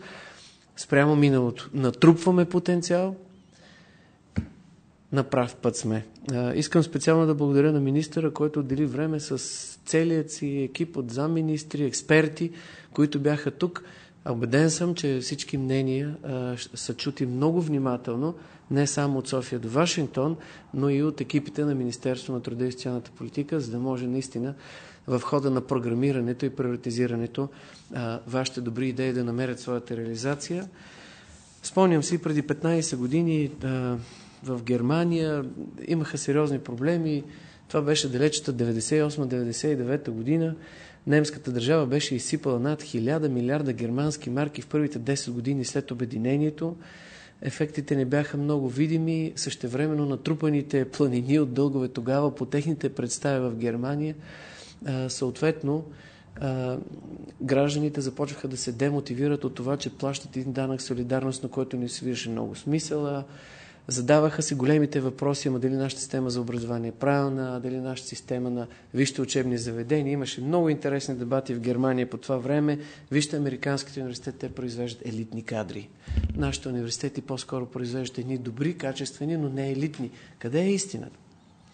Германците тогава, преди 10-12 години, направиха своите собствени изводи, заложиха на дуалната система на образование, заложиха на изключително силният социален диалог – всяко едно предприятие, до всяка една държавна институция, бизнеса, неправителствени организации, синдикалните представители и разбира се държавата заедно в това да преследват резултати по национални приоритети, които те си зададаха.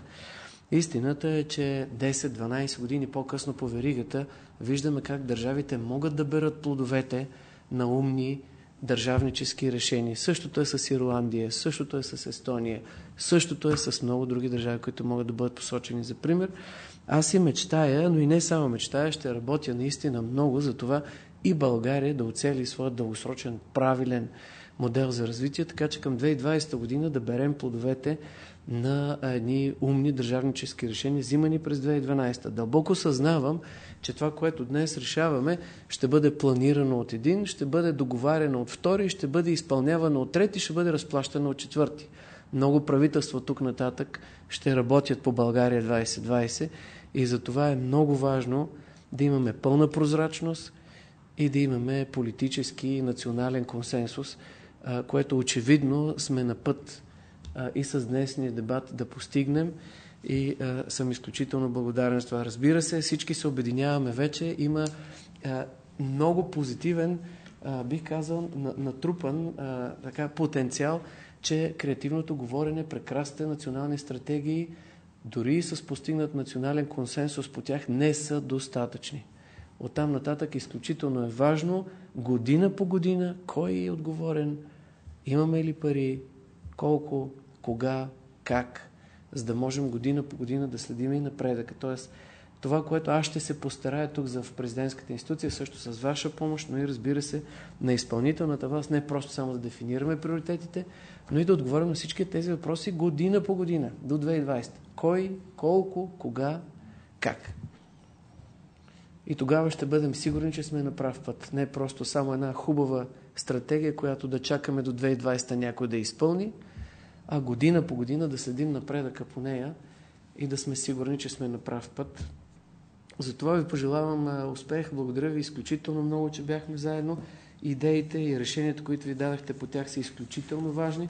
Господин министр, пожелавам ви успех. Това лято ще е доста горещо за изпълнителната власт, с оглед и на това, че България 20, 20 общо взето трябва да бъде сглобена в следващите месеци и оттам нататъка до края на годината ще има отново а, една група от съвети, за да видим вече предварителните варианти, които имаме готови, да си сложим окончателно и подписа и печата по тях, че това е национално отговорно, съзнателно взето решение и пожелавам успех до 2020 година на всички, които ще работят по него. Благодаря ви още веднъж. Успешен ден ви желая.